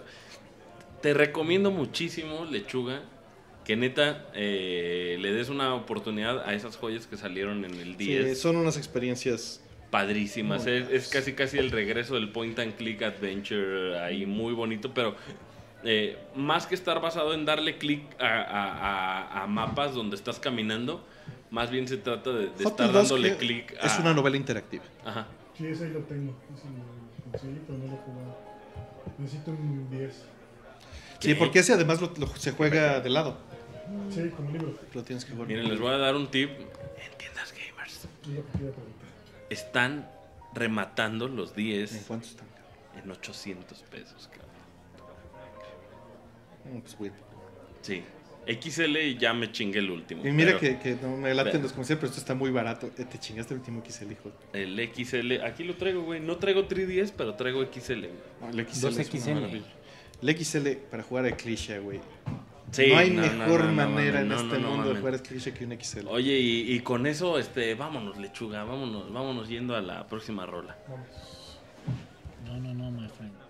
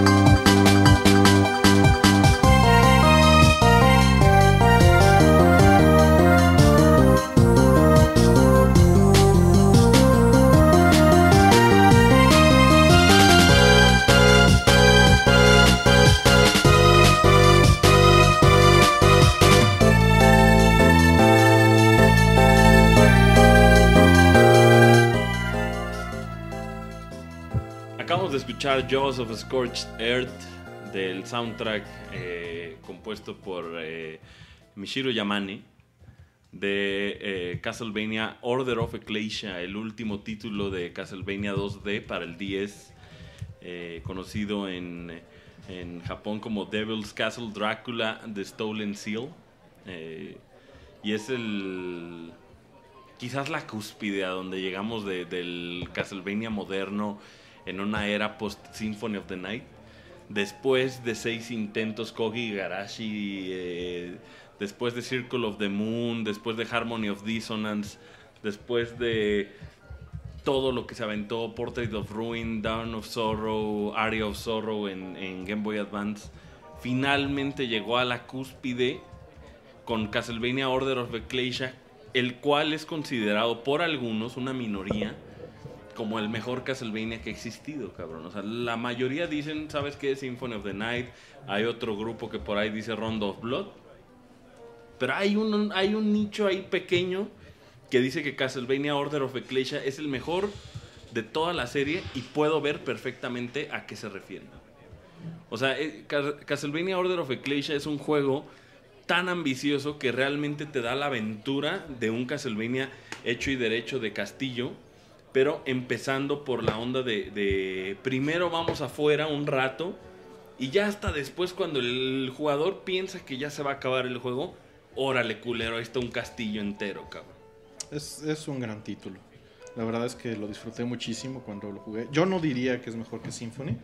La verdad siento que las limitaciones del sistema que hacen que el juego sea principalmente pantalla a pantalla, eh, en lugar de algo más fluido, Claro. eh, es- serían gran parte del cambio, ¿no? O sea, tú, tú dices que el hecho de que no sea como todo un non-linear eh, lugar y que tenga su mapa lo hace... Lo... No, no, no el mapa, o sea, el, el diseño del juego eh, es como por cuarto, o sea, más como Mega Man. Que es full screen, Ajá. ir de punto A a punto B. que Eh, está y con no, te sales de pantalla y cambias, te vas a blackout y regresas a la pantalla que sigue, ¿no? Pues, no, sí, o sea, sí tiene su onda Sí de, tiene de, mucho de pasillos Ajá. largos y, y de eh, Y, y no, no lo quiero hacer menos. cuartos o sea, amplios de tres pisos. o sea, sí- simplemente siento que abusa más de eso por el formato del 10, ¿no? Sí. Y de Sí. hecho también eh, tiene, tiene ahí algo de donde, donde puedes tener como... O sea, es- son pocos los Castlevanias que te habían sacado como de castillo. Son pocos los Castlevanias que realmente te habían llevado a algo que, que no es este únicamente... O sea, que tienes como estas partes de, de que hay agua afuera o de que son eh, estás en un bosque o estás en cosas así. Digo, Portrait of Ruin como que de alguna manera eh, con toda su temática de vamos a entrar a estos cuadros de pinturas y vamos a ver que, que- que- cómo es el mundo que está dentro de ese cuadro, ya te habían llevado a cosas como este las pirámides de Egipto, cosas así súper rarísimas, llenas de momias y la chingada. Pero realmente es, es Castlevania Order of Ecclesia el primer título que ya lo hace eh, por completo ahí con un mapa perrón y, y toda la onda, ¿no? O sea, ya es el, el, el primer Castlevania que yo siento que ya es fuera del castillo hecho y derecho. Sí, eso. Y tiene unos ambientes preciosos, ¿no? Por ejemplo, este del mar, cuando se ven las olas de fondo. No, no mames. Está no. increíble. Y que combina 2D con 3D, Exacto. cabrón. Tal como lo hizo. Como lo hizo Symphony, nada más con tecnología, pues, más, más nueva, ¿no? Y cabe decir que cada uno de estos juegos pues eh, iba vendiendo menos, ¿no? O sea, cada uno Sí, de claro. esos Castlevanias eh, llegó al punto donde, donde la gente ya decía, ah, pues es otro título de Castlevania, pues, pues ya otro título y ya, güey. O sea, como que yo siento que, que mucha gente como que ya los empezó a hacer menos, como que cuando vieron Circle of the Moon, vieron una onda donde... eh, o sea, ¿está bien todo? Ah, ya, ya, ya, perdón. Eh, como que cuando vieron Circle of the Moon dijeron, órale, un Symphony of the Night, cabrón. Y ya después como que le fueron perdiendo título a título como el respeto a este Castlevania 2D. O sea, yo, yo eso siento que fue lo que pasó al punto donde ya Order of Ecclesia como, como que pasó de noche. Pues ¿no? veías a Igarashi caminando en el E3 con su látigo y su sombrero. Y nadie lo Nadie pelaba, lo pelaba, cabrón. Pues es que eso ya no vende. Insisto, güey. Los tiempos cambian. No, y después todavía salió Harmony of Despair. ¿Sabes qué? Tenía que haber dicho que era open world el, el Order of Ecclesia. Para que vendiera. Le, le traen odio eh, ustedes ahí al- a la palabra open world, digo, ¿verdad? Ahí al subgénero, al término, subgénero. al término. No, no es, no es odio. Yo creo que más bien este, es la modita de, de que ahora todo tiene que ser Que open no es moda, me acaban de decir, me regañaron, güey. que llegaras. No, no, pues ¿cuál mono? Pues es desde hace un chingo. Ya sé, ya Zelda. Es mona. Sí, güey, pero Más es bien como- es un tagline que vende, es un Exacto, balazo. es un balazo. buzzword. Ajá, es un buzzword. Eso es lo que es eh, Sí, el famoso open world. Pero ahora tienes que tener ese Pero- buzzword y tienes que certificarte como open world para... Lo que, lo que me gustó después demo. de Cliché que salió, que hizo Igarashi, fue este multiplayer de Castlevania en PlayStation. ¿Sí Solo renta. Sí me gustó eh, la aplicación del 1080p. O sea, de que podías ver El así... pinche Zoom y podías jugar Pixel Perfect en, en 1080p en un castillito así y jugar en una esquinita. Era ti- ti- casi casi como los dibujos que uno hacía, ¿no? De, de varios cuartos. Sí, eso, o sea, es un juego en forma y no un multiplayer, me hubiera encantado. Claro. ¿no? Aunque hubiera hasta... Aunque hubiera sido reciclado, no importa. ¿Sabes que hubiera estado padre? Que, que hubieran estado oscuros todos los cuartos que puedas entrar. Y que justo cuando entrabas ya, ya los tenías como... O sea, como que los ibas desbloqueando, se fueran iluminando los cuadros. ¿no? Sí, le quita su chiste. Estaba muy bonito, pero nunca lo llegué a disfrutar bien.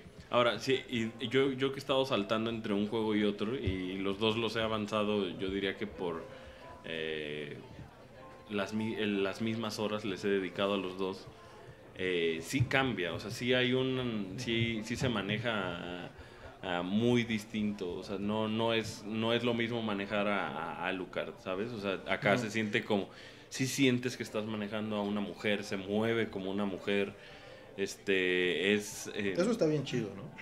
o sea, que la abstracción sea, es- esté, esté lograda, está bien chido. El, la- las mecánicas nuevas que tiene, como esto de que le aprietas R y, y ella se puede como colgar de estos como pivotitos que están ahí por todo el juego.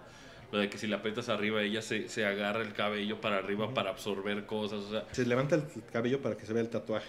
para que se vea el tatuaje y el tatuaje es mágico y empieza como a absorber ahí unas cosas. O sea, son unos conceptos eh, que todos en conjunto logran que, que Order of Ecclesia se haga como un Castlevania Greatest Hits. ¿Sabes? O sea, sí, sí, Symphony of the Night es el, es el más fuerte en todos los sentidos, es el más trabajado, el más exhaustivo. ¿Sabes qué? También me gusta más el pixel art de, de, de Symphony. Digo, aunque hay mucho reciclado en, en Eclipse. Pero yo siento que Ecclesia está más trabajado para su pantalla, ¿sabes? Sí, se nota, O sea, justamente. está hecho para que la pantalla del 10 XL se aproveche se bien. aproveche tal cual. Porque cero blur, todo es pixel perfect, todo está muy Todo cuadradito, está ¿no? súper bien hecho. el, el juego también este aborda Que, que situaciones. no era el caso antes, ¿eh? Que no era el caso en los primeros en Dawn of No. Zorro, por ejemplo. No, no se ve Claro. borrosón. Sí, tiene, tiene este, un outline. El personaje, en varios, varios casos, Que siempre que se, vea, que se vea como play school, ¿no? Sí, sí, la verdad es que Eso no ve- lo dejaron de hacer, ¿eh? Y de hecho, En cuando hace, haces el pero- Dark Metamorphosis y que ya le pones el outline a Alucard, Ah, ya, bueno, ya sientes, ah, no mames, estoy jugando los de 10 porque los de Ajá. 10 todo el tiempo tienen este pinche tienen outline, este ¿no? rollo del outline. Pero justamente era por la falta de contraste. Claro. Falta de contraste y tal vez el tamaño de la La pantalla. ¿no? pantalla, sí. Era un problema. Pero como les decía, lo, lo de lo de Shanoa eh, también se permite, es, es como mucho más permisivo en cuanto a, a la onda de, de cuando estás jugando, la época en donde está, ¿no? O sea, te encuentras con una prisión en un faro, o sea, son, son- como conceptos que nosotros siempre cuando pensamos en Castlevania nos vamos más a un pedo medieval, no te vas todavía a faros ahí. Bueno, es que en teoría va avanzando la historia con los años, ¿no? O sea, ese era el trabajo Sí, de pero Garage. saltan de un. sal- o sea, nunca. O sea, el, el más avanzado, según yo, es Area of Sorrow, después Dawn of Sorrow. Bueno, pero es esos que ya of son Sorrow- 2000, es 2010, Exactamente. ¿no? ¿no? No pasas por los 1900, ¿no? Ujú. Pero acá en, en, en- O sea, estás, estás hablando de ¿Qué año era Area of Sorrow y Dawn of 1800. Sorrow? No, no, es, no, es Los Dawn of Sorrow. Que 2000 que es. son 2000, que es un 2010, futuro. 2015. 2000 y güey. 2010. No, Ah, 2020 y mamás, tantos, ¿no? 2100, una onda así. No, güey, no, no, no es tan lejos. ¿Sí? No, porque se supone, fíjate, pobre Igarashi, cabrón, ya no le tocó contar la historia del Castlevania de 1999, güey. Ah, qué triste. que se supone que iba a ser ya el, el cúspide, cabrón, el, a donde iba a llegar, pero yo creo que Koji Igarashi bien sabía que, que hasta aquí llegó, güey. O sea, yo, yo siento que cuando Order of Ecclesia dijo, una más y ahí nos vamos, güey. o sea, 2035. sí. The Dawn of Sorrow, ¿verdad? Porque Area of Sorrow es todavía antes. O sea, porque son dos juegos Sí, sí, sí, distintos sí. y son los únicos que siguen una... Ajá, que son secuela directa. Sí, exacto, ¿no? exacto. Ahora, con, con Order of Ecclesia yo, yo sí siento que, que ahí este... Kogi Garashi sí aventó toda la carne al asador. O sea, lo único que... Yo creo que este equipo en, en el 10 encontró una casa de donde ellos sabían trabajar, Artemio, ¿sabes? O sea, yo creo que estos güeyes sabían... Nosotros sabemos hacer pixel art, nosotros sabemos trabajar este tipo de cosas y las únicas consolas eh, que los acogieron fue el Game Boy Advance Es y que- el 10 por su resolución de la pantalla. Esa es una, pero la realidad es que yo creo que por el tamaño del mercado. O sea, tú no puedes agarrar y decir, eh, voy a hacer un juego en Play 4 que sea así. ¿Me explico? O sea, es con un presupuesto de este tipo. Porque eh, la, la cantidad del público que hay no te va a dar en variedad para ello. En cambio, el 10, ¿estás de acuerdo que fue una bestialidad de ventas? O sea, fue como el Play 1, en ese sentido, en, en ventas. No estaba segmentado el mercado. Tú cuando tenías el 10 no había literalmente eh, la competencia, ¿no? En, en la misma escala. Sí, hoy, hoy vemos inclusive al 3DS eh, que no tiene... No tiene la escala. no tiene la escala de No. software, ¿sabes? O no, sea, no, no ¿quién puede dices? tenerla. O sea, el 3DS, El el 3DS 3DS, no, pues sí ha 10 no. vendido un chingo y lo que tú quieras. Y es el pero la rey de es que esta el software generación. se queda muy, Y- y no- muy abajo. Tú cabrón. sabes que entre más este, widespread sea una consola, cosa que fíjate que en el Wii me decepcionó, eh, o sea, no tienes la cantidad de oferta que tuviste en el 10. Claro.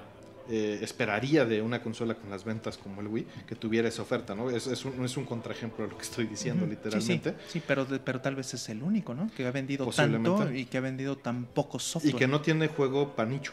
Ujú.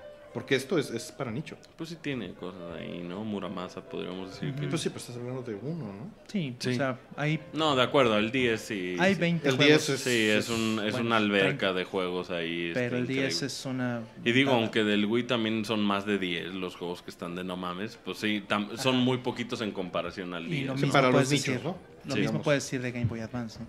Ahora, ¿ustedes creen que, que, ya digo, ya nada más para darle closure como al tema de Castlevania, ¿tú- ¿ustedes creen que, que en algún punto veamos algo similar? No. O sea, ¿ustedes creen que ya se acabó Castlevania tal cual como lo conocemos? O sea, porque ya vimos, o sea, Bueno. eh, eh, no, digo, a Konami también le ha de haber quedado muy claro que, Que no que, que Lords of Shadow tampoco fue the way to go. Ahora, vamos ahí a un punto muy claro. Lords of Shadow hizo más dinero que toda la serie de Castlevania antes. Sí, pero el 2 fue un putazo que, el- que no le pegó nada, güey. Pues no le pegó nada, pero hizo más dinero que Cliché. Sí, pero no, no que Circle of the Moon. Y la gente le está gritando que haga este tipo de ¿Pero cosas. cuál gente? Aunque, pues sí, güey, pero, 10 cabrones.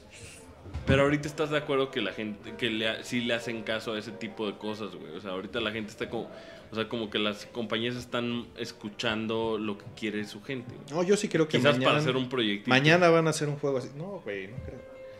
Nunca más. Entonces ya, ma- ya murió Yo Castlevania. creo que sí. No, La- revivió y ya reencarnó en otra cosa, güey. Pues, Pero pues ya no va a ser eso. Lords of Shadow ya no va a existir, güey. Konami. ¿Eh? Pues Konami todavía tiene tu Metal Gear, cabrón. Konami tiene que salir adelante con eso antes Y de pensar en otra cosa. güey. Ahorita hay prioridades. Y eh, toma en cuenta que ya hemos hablado de eso, pero ahí lleva el estandarte de la industria japonesa, güey, de los engines japoneses. Oye, pero vamos a hablar de las prioridades de Konami en un rato o no? No, híjole. Bueno, pues ya será para otro score. Ya será para otro score, pero literalmente Konami ahorita tiene en sus manos mucho. Mucho en juego y, y potencial muy fuerte.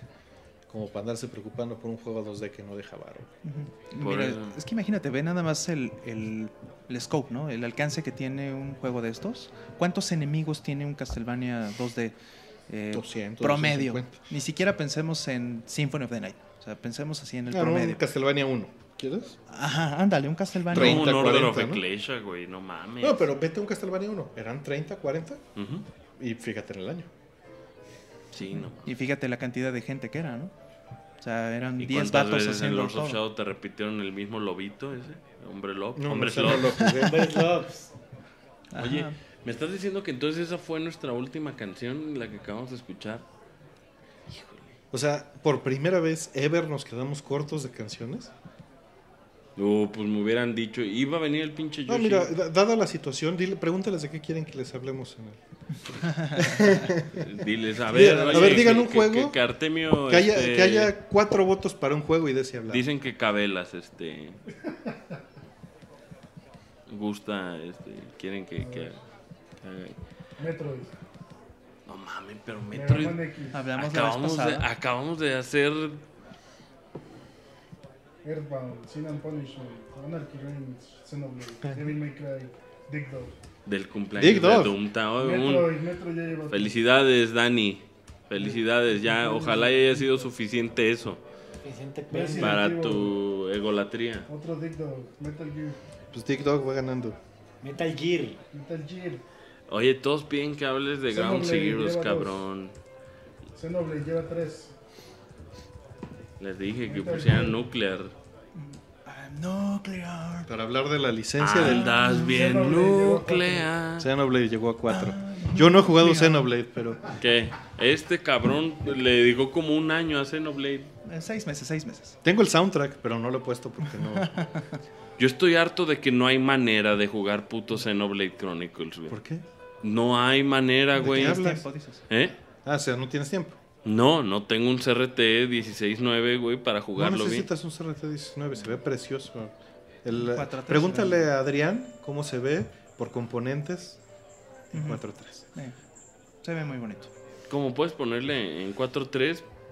No, güey, se hace, se hace Y se ve muy bien. Mira, Nel, ni Skyward Sword, ya lo probé, cabrón. yo Bueno. lo puse por componentes Digo, escalados. Es la no- mejor manera de jugarlo, sí. Nada más te voy a decir Pero algo. Te voy a decir algo. Eso nada más estás hablando de tamaño. Porque de resolución no pierdes absolutamente nada. En un buen CRT. Y por la segunda, tu 16.9 en un pinche anamórfico de un juego de Wii es una mamada. Porque en resolución horizontal, llámese Twilight Prince. lo que sea, en Wii no existe más de 640 en resolución horizontal en el puto Wii. O sea que está sacando 860 y estirado, ¿no? No ¿Cuánto es? existe 860 ahí. No, Estás no haciendo 720 comprimido a 640 y tu tele lo está estirando. Como el pinche. Super Nintendo. Same thing.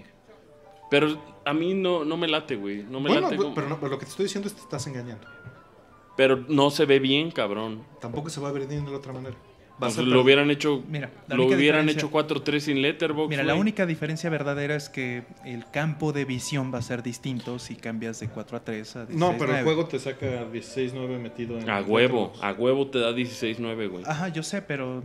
O, sea, sea, si no lo estás pones a- perdiendo nada. Si lo pones a 4 a 3... ¿Tú cómo lo jugaste, Rolman? Yo lo jugué eh, 16-9 en escalado con un, con un DVD Edge. Que esa se me hace la mejor manera de, Sí, de claro, haberlo jugado, güey. Claro. Pero, insisto, te estás engañando en resolución horizontal. No estás ganando nada. Ajá, No, sí, yo sé, nada. pero de todos modos. Bueno, es, es que será que yo estuve como pendejo buscando qué manera se puede jugar Skyward Sword bien. Y siempre Y, se ve. y regresamos muy- a lo mismo. La salida de video del Wii en 480p es un pedazo de mierda. Sí. O sea, no puedes hacer casi nada. No, ya me di cuenta, güey. Tengo un CRT ahí HD que se agarra 480p. Y ni la a güey se ve terrible el Wii en culpa 480p, es cabrón. del pinche Wii. El encoder. El encoder de video es una shit. Oye, ¿y probaste lo de GameCube o no, Arte? Sí, sí, lo probé. ¿Y qué tal? ¿Mejor? También es una madre. También es, es una- es mejor, pero es una madre. Tiene como un 30%. Mira, si quieres el dato técnico, el problema es que no da el voltaje necesario, o sea, las variaciones de voltaje, la amplitud de voltaje necesaria en el encoding del 480p. O sea, Eso es todo. o sea que lo único chido en 480p que vamos a ver en tu vida es el, el Saidai o yo. Posiblemente. ¿Quién sabe? Tal vez haya forma de arreglarlo en la parte Eh, de Sí, pero necesitarías bla, bla, bla. alguien electrónico que pues, yo no tengo esas capacidades, güey, Ujú. que pudiera diseñar. Seguro va a pasar en algún momento en el mundo que digan, vamos a hacer un DAC bien hecho de 480p para GameCube o ti- este, ¿Y qué- se necesitaría, entonces? Un ingeniero electrónico que decidiera diseñar un DAC para convertir el video digital a analógico de 480p en el Wii y en el GameCube.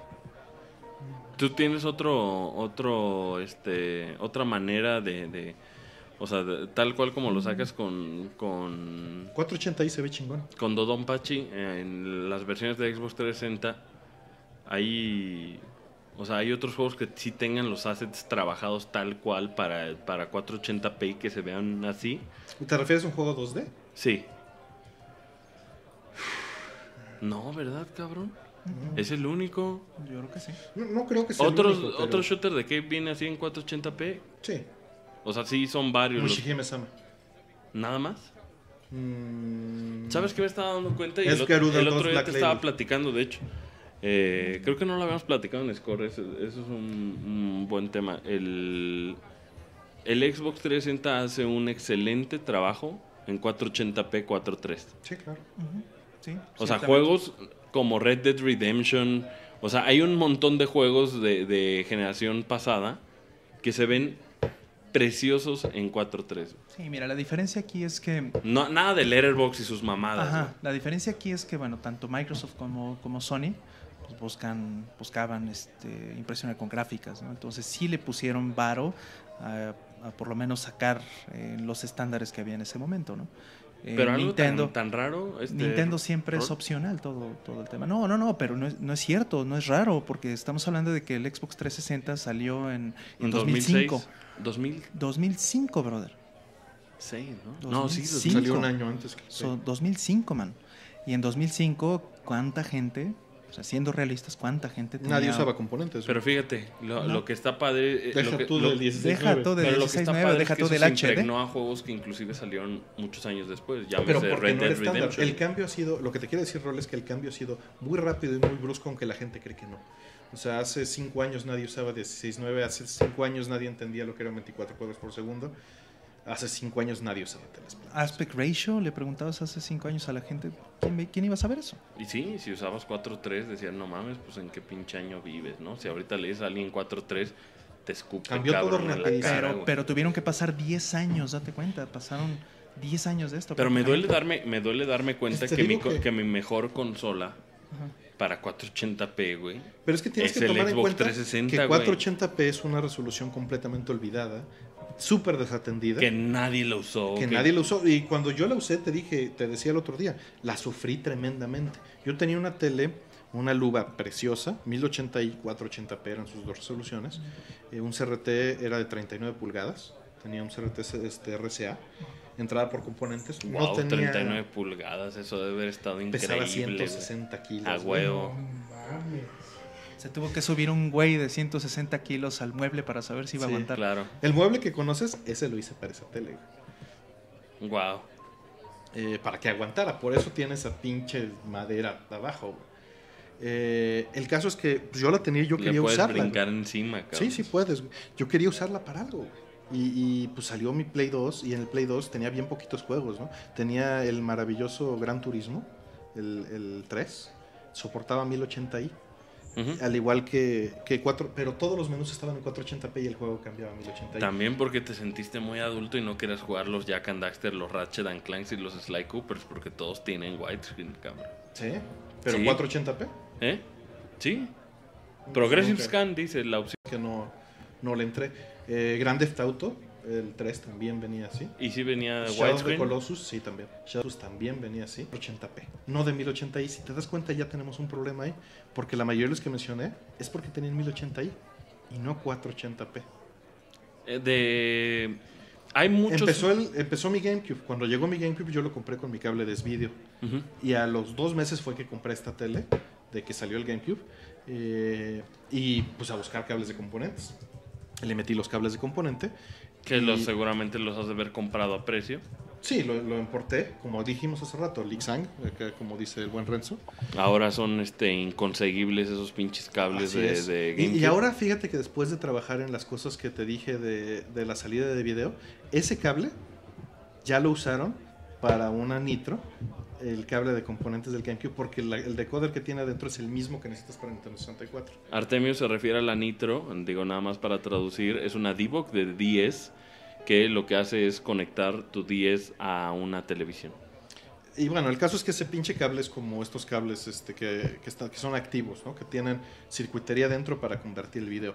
Pero regresando al 480p, mi pedo en el GameCube es que todos los juegos, o la mayoría de los juegos, eran 480p 4.3. Todo. Y tú tenías tu pinche tele Tele 16.9. Y tu pinche tele 16.9 dices que no, no tenía la opción de... O sea, todo era estirado o estirado o estirado. O sea, más ¿no? bien, eh, la cosa es que la tele estaba hecha como, como hoy en día. Una tele que compras tú es para ver películas, no para jugar. Y por lo tanto tienes un chingo de lag, tienes este, un montón de procesamiento que no quieres. Ujú. En aquel entonces el problema era otro, pero el mismo al fin de cuentas. Desde el service mode no podías moverle No, el, nada, el- nada, nada, nada. el vertical y horizontal size, nada, nada. Lo podías reducir un 15%, pero eso no te sirve de nada. Tú sabes que 4.3.16.9 no es 15% de diferencia. Yo ya estoy tan mamón, digo, eh, digo nada más para hacer un paréntesis de lo que va a hablar Artemio, que no se pierda, este, fíjate, ya estoy tan chiqueado que cuando puse Symphony of the Night, eh, y obviamente como está desfasado a, a una tele calibrada perfectamente por la 240p test eh, suite de, de Artemio Urbina, ya me ponía a poner, eh, ya me ponía ahí el Symphony of the Night eh, a acomodarlo tal cual para que se viera perfectamente en mi tele, Artemio. Imagínate ese nivel ya de chiqueadez, cabrón, de, de que no sobre un pinche pixel, güey, de que esquina con esquina Symphony of the Night quepa sin que tenga las dos barras horizontales que, que en la mayoría de televisiones tiene. Ya esa es chiqueadez extrema, ya moverle al service y- está mal hacer eso. ¿eh? Te- Seguro. Sí. Ya la tele ya la... No, lo estás haciendo a 224p, porque esa es la resolución de Symphony of the Night. Y te estás perdiendo eh, cuatro tiles de altura de un 240p completo. Eh, cosa que me he estado peleando mucho con el puto Super NES, que bueno, ya después hablaré de eso. Eh, regresando a lo que estaba diciendo, no, no podía. Y terminaba jugando 480 y todo. Y esa tele, fíjate, ¿sabes con qué la estrené? ¿Y 480 ahí sí te lo daba a 4- a 4.3? 480i me lo daba 4.3. Es más, lo podía mover y lo podía escalar y podía ponerlo en chiquito en la orilla de la pantalla. Wow. Pero 480p no podía hacer absolutamente nada porque se suponía, y bueno, era lo correcto. No, los juegos son una cuestión completamente secundaria. Tú cuando pones un DVD, la tele hacía el procesamiento para hacerte el anamorphic mode de un DVD y ponértelo 16.9 cuando venía en 480p. Ujú, Porque era lo correcto. ¿Para qué ibas a querer otra cosa? güey? Pero resulta que había un cabrón que sí Que quería, hacer otra, cosa. güey. Entonces me la pelaba. Pues yo también... ¿Y sabes cómo logré, cómo sí aceptaba 480p en 4.3? Por VGA. Yo, fíjate, ya, ya llegué al punto donde esta tele de que tengo, que es una Vega CRT HD que agarra hasta 1080i, agarra 720p y todo el pedo, que ya, que gracias a Mauricio Lechugo me, me ayudó a cargarla esta tele de 34 pulgadas, pesadísima la hija de la chingada, pero el pedo fue que, que cuando justo llegué a la cúspide y dije, ya quedó 480p, perfecto, no mames.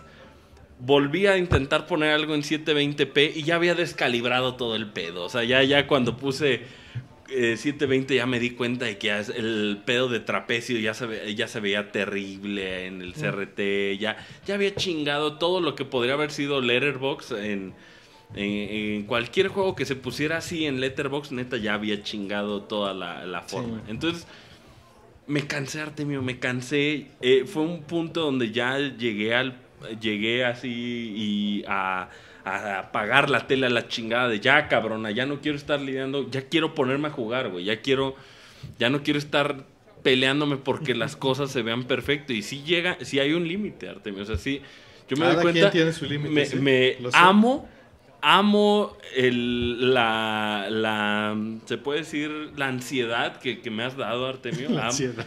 Amo el, el- la espinita que me has dado a jugar las cosas de la mejor manera posible. Pero si hay un punto donde uno termina dedicando sábados, domingos y todo un pinche mes entero a, a, a- o A una- programar una suite para que se calibre bien su pinche tele. Pero se, se- se- sí se vuelve algo que sí necesita uno un break. ¿Y sabes dónde he encontrado el break? En las pinches portátiles que no tiene uno que configurarles nada. Ahora cabrón. trata de sacar la portátil a una tele, güey. No mames. ¿Qué? No, pues es, es de lo peor que puedes hacer. Ah, Es, es básicamente imposible hacerlo bien. Hasta ahora. ¿Cómo, cómo, cómo? Conectar, como decías, mi Game Boy Player, quiero jugar 240p bonito en mi Game Boy Player en mi tele. Con Scanlines y la chingada. Así, peluquín, así, cabrón. Eso Y no. la gente, sí, claro. Game Boy Player, perrísimo. El otro día el pinche Artemio me decía, te la pelas, tu Game Boy Player no viene con el clock ah, ajustado a como debería funcionar un Game Boy Advance real, cabrón. Sí, brinca como un cuadro cada tres. No mames, imagínate que te dicen esas cosas, se arruina tu mes, cabrón. Y volteas a ver los emuladores, güey, y dices, Dices, no, ah, ya juego en mi iPhone a la Frame chinga. skip, cero.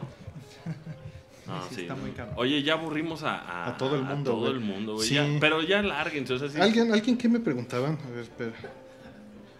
Que querían que habláramos de Sega. De Sega ya vamos a hablar. Bueno, no hemos puesto. No, sí hemos puesto música. Sí, de por Sega. favor. De Sega Gas pusimos, Sí. claro, hace mucho. Sí, sí, mucho. Ya. Que hace un ya par de años. Tiene un chingo de tiempo. o sea, ya- Tiene como seis Ya programas. deberíamos pero de, años. justamente como dijo Artemio, como resetear este pedo, ¿no? Ya deberíamos. Reboot. Un reboot. Ah, eh, por ejemplo, Renzo ya nos mandó la chingada Ya desde, desde hace hace como mucho. Estoy una muy hora. tratando de güey. no quedarme dormido, cabrón. Tratando Oye, de no ay, ay, quedarme fíjate. Artemio, dentro de lo que cabe hay gente que, que todavía nos pide que, que sigamos. Que eh, sigamos. Pues, ¿qué quieren saber? a ver? De lo A, ver, alguien, digo, an- antes de irnos, ¿alguien quiere saber algo respectivo a lo que estábamos hablando? Nos quedan 40. ¿Qué? No, pero no mames, vamos a acabar antes de No, los está 40. bien. Pues si, si quieren. O sea, aviso parroquial. Sí, sí. Mira, es, es cuando se nos acaba el tiempo, se nos duerme Renzo. Yo estoy, esas pinches pastillas también pinches de alto poder. Oye, dice, ¿qué tan bueno es el Super Game Boy? Pregunta, déjate, digo el nombre de, de quien lo pregunta, Prieto Smashero. Honestamente, no puedo responder eh, con toda la claridad porque no tengo un Super Game Boy. Miren, yo a ojo de mal cubero, porque no tengo ojo de buen cubero, pero sí soy muy mamón. Yo siento, y obviamente pues por la resolución del, del Super Nintendo, El Super Nintendo puede dar 480i, ¿eh? ¿te cae? ¿El Ah, sí, pues eh, Secret ya. of Mana, claro. Y se ve terrible, pero.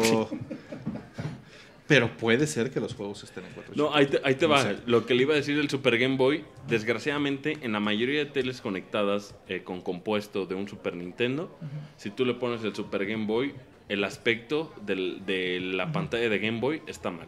Sí, porque el, el Game Boy es perfectamente cuadrado, ¿no? El- Ajá, y acá lo ves estirado. Exactamente. Pues habría que ver, ¿no? Yo, yo no he hecho pruebas, pero si consigo un Super Game Boy, que fíjate que en Japón compré uno y llegué aquí y no me funciona. Es la un, es Yo la- te lo presto, tengo... tengo- para hacer pruebas con el osciloscopio y darles una respuesta adecuada de cómo está la señal. Yo te recomiendo, en ese caso, o sea, si quien me estaba preguntando qué tan bueno es el Super Game Boy, que gastes unos 200 pesos, porque el Super Game Boy me imagino que en Mercado Libre o en Tianguis te lo hayas como unos 200, 300 pesos.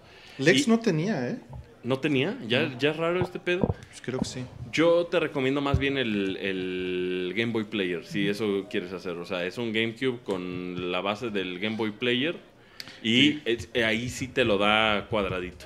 Ok. Pero, pero sí, sí es Pero diferente. frame rate 480i, está, el frame rate 480i. está mal. Ajá, pero el, pero el hardware es diferente. ¿Quién sabe en Super... Bueno, Ese es el tema. que ¿quién sí. sabe en, en Game Boy y No Game Boy idea. Color? Porque recordemos que el Game Boy Player de GameCube Es de Advanced. de- es de Advance, Game Boy Color, Game Boy, este... Tiene hasta su cablecito para el link. Sí, O sea, la diferencia enorme que hay entre, entre un Game Boy Player y un Super Game Boy es que un Super Game Boy es un Game Boy. Trae el hardware de Boy. Ahora, mi pregunta sería, ¿utiliza el PPU del Super NES o no? Eh, que yo sepa, no.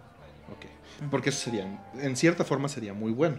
Porque la resolución del Super NES es 256, 224, como Ajá. platicábamos. Sí, el otro es 160 por algo. no 100, 240 como la de los- 160 por Exacto. 160, algo así es. ahí Digo, no- no, tendrías- tengo el dato, pero ahorita, ahorita te lo digo igual. ¿no? Ahora, ahí les va un dato interesante con el Super 160 Game Boy, por ahorita que 140. preguntaron. Fíjense que el Super Game Boy tiene eh, opción de que algunos juegos, incluyendo Donkey Kong 94, como se le conoce a esta versión de Donkey Kong con la cual está en la portada del Super Game Boy, eh, no, en la portada del Super Game Boy estaba, estaba Metroid 2, ¿verdad? Return of Samus. Pero justo el mero día que salió el Super Game Boy también salió Donkey Kong 94 y utiliza el chip de audio del Super Nintendo, güey. Sí me habías dicho. O sea, es una cosa donde hay juegos Que es la de Game expansión, Boy ¿no? que utilizan eh, pues el chip de, de audio ahí de, de- del Super Nintendo. O sea, sí existen. Oye, a ver, ¿qué, más piden? Pasa una cosa también curiosa que sabía del, del Super Game Boy. El Super Game Boy entiendo que, o sea, qué tan, eh, está amarrado al hardware del Game Boy original que tiene un problema de timing. O sea, los juegos en Super Game Boy corren ligeramente más rápido. Ah, sí. Ajá. Entonces ahí hay un gran problema. Eh, ajá, sí y no. Lo que pasa es que, eh, por lo que sé, Por lo del Pali NTSC. eh, no, no, no, no, No, no, es eso. un tema Es por- que originalmente, perdón que te interrumpa, la- eh, tu consola portátil no está ligada a un formato de video. Podría correr a 40 cuadros por segundo. eh, es que de hecho no es, no es por eso, es por el, por el divisor del CPU. Ok. Entonces ahí más bien lo que tendría que hacerse es, este, por ejemplo, pues reducir la velocidad del, del Super Game Boy, lo cual es posible porque eso lo podría hacer con un oscilador. Que ese es el problema que hay en el, en el GameCube. En el este, Game Boy Player justamente no tiene el oscilador correcto. Mm. Y ya en los foros hicieron la modificación para ponerle el cristal correcto para que dé la, Mm. la frecuencia del, del Game Boy en la salida de video. Mm, ya, ya, ya. Porque no viene bien, utilizan un divisor así a la verga del, del GameCube. ¿No Claro. podemos hacerlo? Se Digo, yo, yo, tú me habías dicho que es una mejora menor, es una mejora menor. pero me gustaría, si es posible, que, Las lo, piezas son que lo 15 hiciéramos. pesos, Digo, güey. los dos lo tenemos, entonces podríamos ahí acompañarnos en, en Sí, hacerle sí, a la mamada. hacer. Alexis Bolainas preguntaba, eh, dice, conectar un Wii a un CRT para jugar consola virtual, sí da los juegos de SNES en 480i. En 240p. En Ahí les va. 240p. No, pues era- esa era su pregunta, más bien Ajá. hay que corregir la- O sea, lo que él sí. quiere decir. Sí, sí, sí, sí, sí los das y lo pones a 480i, pero eso está mal. ¿Qué? No, no, no, no, bueno. No vamos- puedes vamos poner no puedes poner juegos de Virtual Console en 480i a menos En Wii. por en eso Wii no puedes. A menos Ajá. que sean juegos de TurboGrafx. El TurboGrafx es la única consola Vamos, que no vamos está en emulada a partes. 240p. güey. Vamos en partes. La resolución original de estos juegos es 240p. Ajá. Que 240p es un hack de 480i. Ujú. Después, si a alguien le interesa saber de eso, podemos hablar de eso. No quiero detenerme en el punto, pero lo que hace 480 de 240p es en lugar de mandar las dos señales de un entrelazado, manda la primera señal las dos veces. Con lo cual logras, eh, y no es repetido, o sea, es repetido para el sentido del video, es no repetido en el sentido de la consola.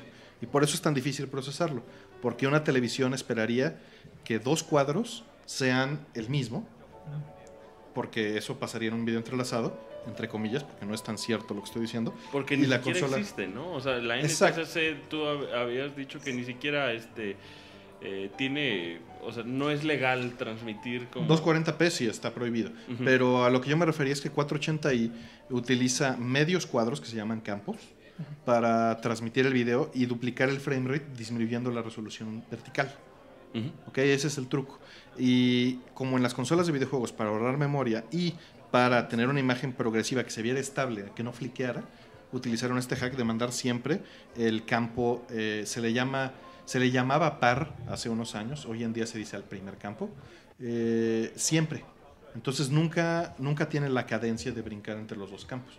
En Claro. tele normal le metes eso, eh, bueno, un CRT no tiene broncas, porque es analógico y te lo va a desplegar como es. Pero si a un LCD se lo metes, lo va a interpretar incorrectamente, te va a meter lag porque tiene que tomar los dos campos, unirlos en un cuadro y luego escalarlo y desplegártelo. De y hecho, si- y de- si hace eso, le está partiendo la, señal, la madre a tu señal 240p. No solo eso, siempre vas a ir un, un par de campos atrás. Eh, Por supuesto. O sea, por eso digo, dejamos de mete grabar este eh, o sea, un- hay uno de nuestros videos de Atomics Mini Classics que precisamente tenemos ese pedo de que cuando justo lo, la capturadora detectaba el 480i, pues el entrelazado se ve terrible. Sí, ¿no? claro, te hace un cagadero. Pero siguiendo ese- esa línea de pensamiento y con respecto a lo que nos está preguntando, eh, Nintendo hizo algo muy bien cuando diseñaron el Wii. Y es, sí soporta 240p en sus formatos de video. O sea, sí es uno de los formatos internos eh, de hardware. Decidir, vamos a sacar el formato de video como era el Super Nintendo o como era Origen. lo que sea de esas Ahora, consolas. nada más para añadir a lo que está diciendo Artemio, esto lo hacía también el GameCube. O sea, y como Sí, el, también el hardware son tan similares, el, el Wii y el GameCube, este, si ustedes meten eh, eh, su disco que trae Zelda 1, Zelda 2, este, hay uno que es una compilación de, de Zelda. No he probado O Animal. Crossing, Ah, o Animal Crossing, sí Que- saca. que trae los juegos en- juegos. en 240. Ahora, de 240p. Hay, hay muchas cosas que comentar aquí. La primera que quisiera decir es cómo logras hacer, cuando vas a salir a un CRT o un scaler, obtener la resolución original, es pon tu Wii en el menú en 4.3, forzosamente, en- Sí. no lo pongas en widescreen, y ponlo en 480i, no lo pongas en 480p, de preferencia por componentes, sino por ese video por compuesto. Y eso Por da- compuesto, me imagino que ellos eh, Es es, un experimento fácil, ¿no? que pueden lograr en su casa Sí. y que quizás ahorita mismo tienen la manera de hacerlo. Exactamente. Y eso les va a dar la señal original de su consola virtual funcionando bien. Ahora, eh, Nintendo tuvo unos problemas graves cuando esto sucedió porque eh, muchas teles actuales, bueno, muchas teles alrededor de 2006, que fue la época en la que estaba el Wii en auge, tenían problemas procesando 240p por componentes y se iban a negros. Pero solo las teles de ese año. Fue algo momentáneo.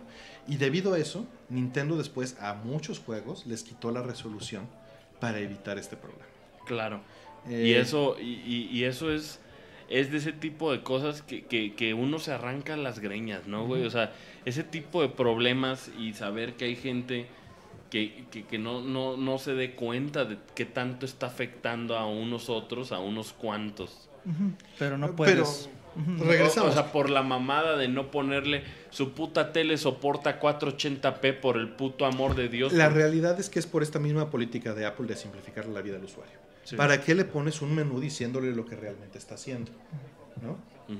Y entonces, en lugar de decir, híjole, ¿para qué le pongo ahí tres submenús diciéndole con resolución 240p o 480i? Y la no, si el usuario le se va a complicar la vida, va a complicarnos el soporte, quítaselo a la chingada y sácalo de la manera más fácil. Y, y no solo eso, que en esas épocas también empezamos a ver mucho auge en los procesamientos de, de- internos de las teles. Sí, sí. O sea, un chingo de efectitos pendejos de deportes, eh, Motion, eh, motion, flow. motion flow, todas esas mierdas. Todo eso empezó por ahí de 2005, Sí, 2006. se, se empezó a ir al carajo. Y, obviamente eso va en contra de lo que esperaría uno para jugar videojuegos. Porque, Porque, así ya no está estandarizado. porque así vienen, además así vienen ya de fábrica. O sea, la prendes de salida de la caja prendido. y trae todas esas mierdas prendidas. Modo tienda. Ajá, modo Y- tienda, y es- exactamente, modo es un tienda. desmadre. Entonces, eh, bueno, en- respuesta y, con- y siguiendo esto en línea a lo que decía Asher, eh, TurboGrafx estuvo mal emulado desde el principio. Siempre lo saca 480i, que es. Pierdes muchísima claridad o nitidez para ser muy ambiguos en el término. Realmente lo que estás haciendo es desplegando una señal entrelazada cuando en realidad debería ser progresiva. Claro. ¿no? Le estás partiendo la madre a la mitad de la resolución eh, y lo estás procesando mal. El Ahora, eh, recientemente eh, Artemio y yo descubrimos, eh, bueno, más bien Artemio descubrió que había ciertos emuladores, eh, de hecho de Homebrew de, de Wii, que tenían un modo que decía original. Y lo que hacía el modo original era que justo dejaban, ponían esta línea negra, lo cual pues, hacía que tu tele pareciera que estuviera en do- 240p, pero realmente era 480i. Y da el gatazo el efecto, güey. En un CRT. Ajá. Sí, en, En un, un CRT, CRT. porque el fósforo se tarda en, en disminuir. ¿no? Sí, pero de todas maneras se veía distinto. No, por supuesto, o sea, obvio, pero se, no se nota tanto. Porque ¿no? sí está pintando las líneas negras, entre comillas. Sí, sí, o sea, estás perdiendo, estás perdiendo la mitad de la brillantez. Exactamente. Ujú. Sí, o sea, bueno, pero es un no es la mitad porque es una curva, ¿no? Y pero además, es un efecto que, de alguna manera y- lograron. y Asher no me creía. El cabrón estaba empedernido que, que no era cierto. Que sí me sacaban 240p. Y no. ¿no? Y- Hasta que le hackeé los emuladores y se los enseñé. Y listo, ya están a 240. Sí, pero ajá, ¿con qué te podrías haber dado cuenta? Porque finalmente, como estás perdiendo el brillo del segundo, del segundo campo, o sea, porque no estás pintando nada, son líneas negras, eh, estás perdiendo eh, la brillantez del fósforo del primer cuadro durante el segundo. Entonces eso debería disminuir el brillo del, Pues sí, del pero si le juego subes el general. brillo a tu tele todo el tiempo. Claro, y además es logarítmico. Entonces no podrías, Ahí te acostumbras. no lo, no lo disminuyes a la mitad realmente, ¿no? Oye, aquí una pregunta, Artemio. Eh, pregunta eh, Alex García, ¿cómo empiezo a adentrarme en estos temas? Pues mira, lo principal es que Artemio y yo habíamos planeado ahí unos contenidos, pero está difícil saber desde dónde, ¿no? Artemio está... Bueno, es, muy claro. Y, está, y, y sabemos que es un nicho muy pequeño los que van Sí. a... Sí, ahorita igual ya se nos cayó la mitad la audiencia. Sí, Discord. cabrón, güey. Pero el, el- o sea, lo primero evidentemente es tener el interés, ¿no? Eh, lo segundo es que experimentes y te pongas a ver si notas una diferencia. Es como en la música que me preguntaban hace rato, ¿no? Eh, escuchar lossless o no escuchar lossless o mejorar audífonos, mejorar amplificadores.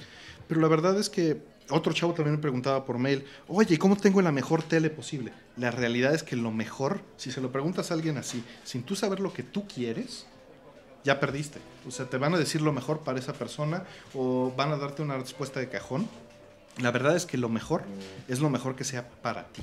Sí. Tú tienes que plantear tus necesidades.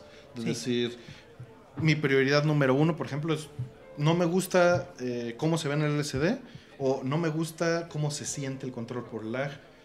Tienes que tener esa inquietud de entrada para decir necesito un cambio. Si estás Creo que tal vez satisfecho, deberías de, de- O sea, si ya estás entrando... Es que Ahora, es yo que, sé, pero... es que tal vez habría que poner un poco de referencia. ¿Qué es el lag, Mira. güey? ¿Qué, qué, qué- qué diferencia hay entre un LCD? ¿Qué es un. LCD? ¿Qué es un CRT? Mira, eh, mira, yo creo que en toda la experiencia audiovisual, tanto para la parte de audio como la de video, eh, finalmente vas a tener eh, vas a tener un límite, tu experiencia va a estar limitada al- a tu componente más chafa dentro de toda la cadena. y por el mismo lado, a tu mejor componente con el que estés comparando todo lo demás. Por supuesto, sí, ¿No? evidentemente. O sea, tú Está acotada por los dos está lados. acotado por los dos lados, entonces tienes un techo y un, un piso, donde, donde lo más chafa o lo más chingón que tengas dentro de todos esos componentes, ya sea tu amplificador, tus cables, tus bocinas, o del lado del video, tu tele, tus cables, tu consola, y del lado del lag, tus controles, si son inalámbricos o alámbricos, etcétera, etcétera, etcétera, llegamos al punto en el que pues finalmente todo afecta. O sea, ¿qué tanto te quieres acercar a, a la a una experiencia de tiempo real como la teníamos en el arcade hace 15, 20 años, pues eso va a depender mucho de cuánto le quieras invertir. No, y también decirles eh, ¿Y aguas. eh. O sea, Sí, yo, yo sé sí, que este es un camino que los va a alejar de la mediocridad, pero Claro. también es un camino que se, que se convierte en algo muy obsesivo, ¿no? Por también supuesto, es, es- es por peligroso al, al punto de que quizás van a, van a dividir su tiempo entre preparar lo que van a jugar a jugar. Bueno, ahora hay una diferencia también importante. O sea, los juegos de hoy están pensados en esta... eh, En el ambiente que en está. este ambiente mediocre que ya tenemos hoy día. O sea, están O sea, pensados en el y, y no, lo, no lo digamos discriminatoriamente, aunque lo digo muchas Ajá, veces también, sí, no. pero el pobre developer tiene ya que lidiar con esos problemas Por de supuesto, de fábrica. Pero yo, diría que quizás, el engine a lo mejor quizás se los trae. Pero mira, quizás hoy en día, lo digo, no ver. me quiero desviar mucho hacia esto que estoy a Ajá. punto de decir, pero yo diría que, por ejemplo, el PlayStation 4, Ajá. que es una consola que tiene la salida en HDMI Ajá, y que tiene videojuegos que están en 1080p ujú. a 60 cuadros por segundo, pues la neta es que es lo más cercano que van a estar a, a tener a jugar bien en sus pantallas nuevas, ¿no? Ajá, o sea, claro. esa es la manera que se debe sea, de jugar claro. y el PlayStation 4 se acerca mucho Ajá. A lo correcto. a, lo correcto Claro. y, y lo más fácil, ¿no? Sí, sí, que, sí. que podría ser en una consola actual. Ahora, Sí. Pero irse a algo anterior Sí, o sea, cuesta un ev- poquito más de evitar, trabajo. evitar por supuesto que tu tele sea la que escala. Eso hay que evitarlo. eh, vamos a separar escalar de procesar, ¿no? Porque existe la... la, mm, Sí, sí, son dos cosas voy, a, voy a regresarme mucho. Ese, ese punto nada más lo quiero dejar claro porque una cosa es convertir de resolución y otra cosa es convertir de lo que se dice en inglés eh, upscan, ¿no? Cambiar el, el- el, este, el ritmo de, de escaneo de la señal es lo que mete más ruido en este problema. Sí. Pero yéndonos hasta, hasta abajo y que creo que sí sería lo correcto, es decir, eh, cuando tú tienes una señal de video, ¿ok? Sea analógica o digital, tiene una fuente que es la más pura, es cuando se produce, ¿no? sin compresión, vamos a llamarle de esto que tiene mucho que ver con cómo abrimos el programa. Tú tienes un, vamos a poner eh, un bitmap, ¿ok? que es un píxel prendido, un píxel apagado, un píxel prendido, un píxel apagado, vamos a suponer ese Una caso. imagen, sí. Y vamos a suponer que es en este, para este ejemplo, una imagen que es de 4x4.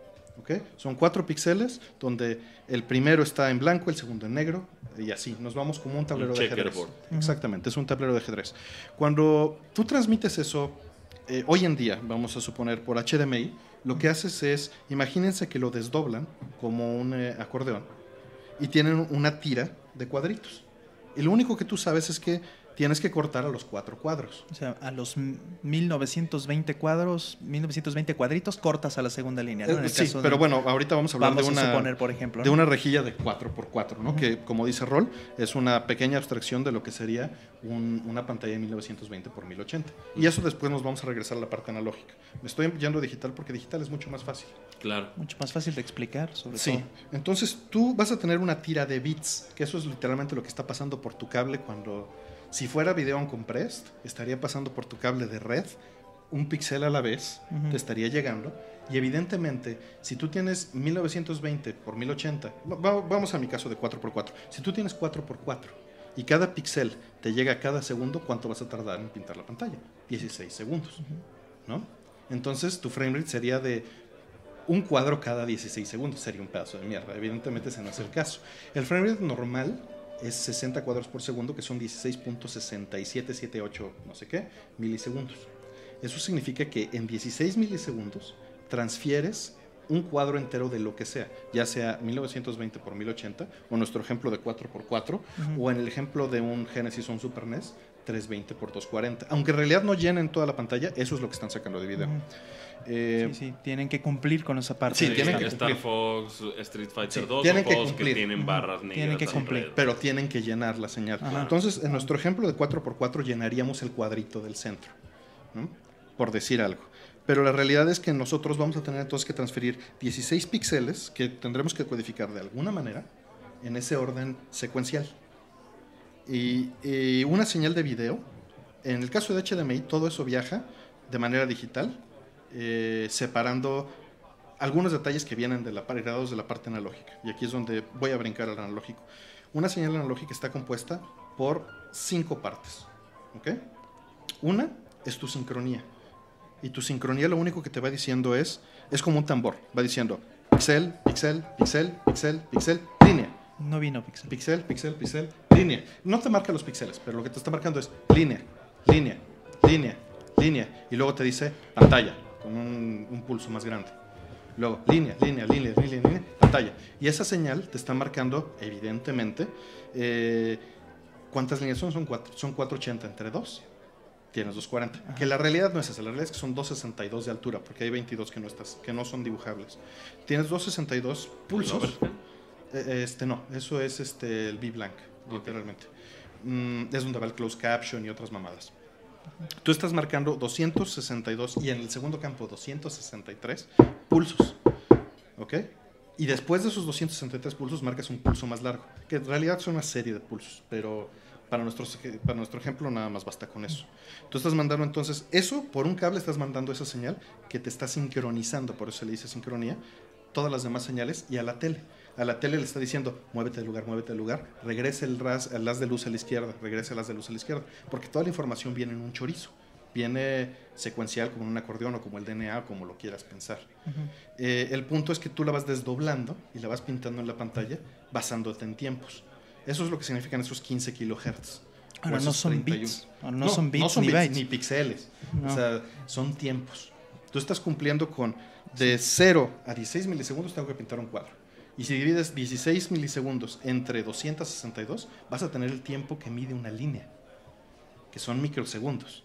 Estás hablando de 47 microsegundos, no me acuerdo exactamente del dato, pero ese tiempo es el que mide tu línea. Y adentro de la línea hay un espacio antes de la línea que va a la izquierda, un espacio después de la línea que va a la derecha y la línea va centrada.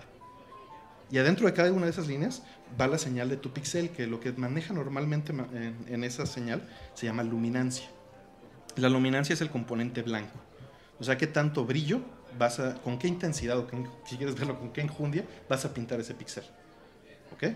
O sea, ¿cuál va a ser la intensidad con la que... La el- intensidad lumínica. eh, sí, porque es- tienes un tubo de rayos catódicos, ¿no? ¿Ok? O sea, el CRT, eso es lo que Y así viene codificado. Es la intención del, de- del rayo. Y tus otras, ahí ya hablé de dos señales, la luminancia y la sincronía.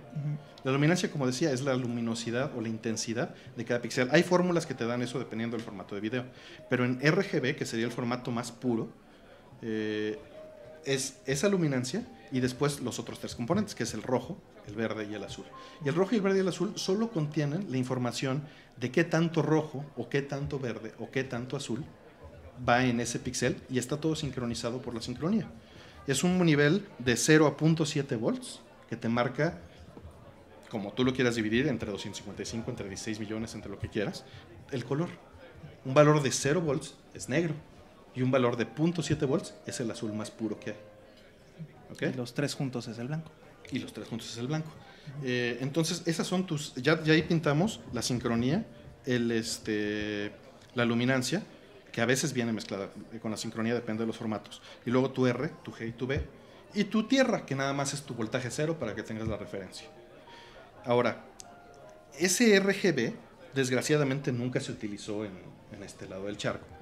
Eh, por Todo un lado, lo pasaban por un pinche cable. todo lo pasas por un pinche cable y lo que haces es modular todas esas señales en una sola cosa que se llama compuesto y va en un formato que se llama NTSC. ¿ok? Pero independientemente de eso, y, y yo me quisiera alejar un poquito de esa parte porque lo que más les va a servir es eh, lo otro, es tú tienes una señal de video, que no importa si viene separada en cinco cables o si viene en una o si viene en dos, tu tele la tiene que interpretar. ¿ok? Que. Cuando estás hablando de un CRT, el CRT originalmente tiene tres cañones de luz. Tiene un canal, un canal para rojo, un canal para verde y un canal para azul. O tiene un solo cañón, pero a tres tiempos en una máscara va pintando cada color. Entonces lo único que se hace cuando tienes, vamos a poner el caso, un monitor de arcade, es pasarle literalmente tus líneas RGB y tu sincronía al monitor y nada más las pinta como vienen. Así como un este como un estilógrafo o una de estas máquinas, este, no sé si han visto que nada más le ponen una pluma y, con- y gira, así es como funciona. Digo, es una analogía muy burda, pero bastante real. Pero por eso se llama analógico finalmente, ¿no? Claro, porque tú estás haciendo un proceso que basado en una señal analógica va a convertirse en tu video y todo eso viene, insisto, como un chorizo desdoblado sin albur que, que va derechito, ¿no? Que y eso tenga que aclarar que no es albur. Eso viene maravilla. de la antena. O sea, tú en la antena cuando te la transmite una televisora, te está mandando esa señal. ¿no? Te, te manda esa señal. Y esa señal, el detalle, es que entran un chingo de problemas cuando tú modulas, que vamos a decirlo de otra manera, cuando comprimes cinco señales de video en una sola. Y lo que tienes que hacer es, pues ahora sí que como decía Fourier, eh, convertir todo eso en una sola onda. Imagínate, tienes que sumar las ondas cuadradas de la sincronía, más las ondas de la luminancia, más las ondas del R, más las ondas del eje y las ondas del B, y además el audio en un solo cable. Ahí no estamos yendo al RF. Y lo tienes que modular a una frecuencia de FM. No mames. Y luego le llega ese solo cable a tu tele, y tu tele tiene que agarrar y pasar por filtros analógicos de aquel entonces, güey. Y, en- y peor aún, digitales de los 2000 y separarlo en las cinco señales originales para alimentar el cañón. No, pues salía de la chingada. Y ese es el ruido que ves en compuesto. No es que el cable sea mejor en calidad. No, la verdad es, Es- que es lo que el estás encoding. haciendo es que estás brincándote la codificación de ese video y el ruido que mete el tener que unir y separar esas señales. Además de que imagínense que si bajen un solo cable, el mismo ruido que le llegue a ese cable, la capacitancia parásito, lo que quieran, le va a afectar las cinco señales al mismo tiempo. Cosa que cuando tienes cinco cables, pues divides ese ruido entre Claro. cinco. O sea, cambia muchísimo el problema.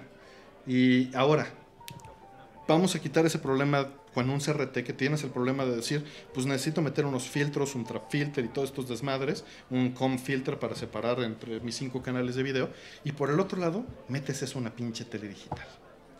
Cuando metes eso a No, una no pinche tele mames, digital, no, no lo que haces... vomitada. Pero, pero es que fíjate en lo asombroso del proceso. Estás metiendo una señal de un cablecito que varía de 0.7 volts, que está dibujando una ondita, y esa ondita la tienes que separar en las cinco señales originales, pero para eso tu tele solo es digital. Y como solo es digital, primero tiene que digitalizar la señal, la convierte en un stream de unos y ceros, y a eso le tiene que aplicar sus filtros digitales para separar entre las cinco señales originales. Y luego tiene el detalle es que tú una pantalla de LCD o plasma es una pantalla que solo muestra fotos. O sea, no, no puedes mostrar en un CRT tú vas pintando pixel a pixel, como dijimos, es un, proceso analógico. Aunque hablar de píxeles insisto está mal, eh, pero para analogía funciona. Tú vas pintando cada uno de tus píxeles que mandaste en tu stream serial. eh, máquina de escribir. exactamente, vas ta ta ta ta ta ta ta, ta, y vas sincronizado con el tiempo. En Todo un lo que va LCD en putiza, ¿no? va en putiza. En un LCD va igual en putiza, pero el problema es que solo puedes pintar hasta que tengas la pantalla completa. No puedes ir pintando píxel a píxel. Entonces, cuando te está llegando tu stream de bits, vamos a suponer que es un stream de bits de 1920 por 1080. Olvídate de que sea un stream de bits de una consola clásica. Te están llegando y tú los vas guardando en un buffer, en un cajoncito. Vas guardando cada píxel, cada píxel, cada píxel. Y cuando acaba de terminar el cuadro, estamos hablando Te lo 16 milisegundos después, en el caso de una tele perfecta, lo que no pintas. existe. La, la más cercana es de 19 milisegundos. Exactamente, la más cercana que tenemos hoy en día es de 19 milisegundos.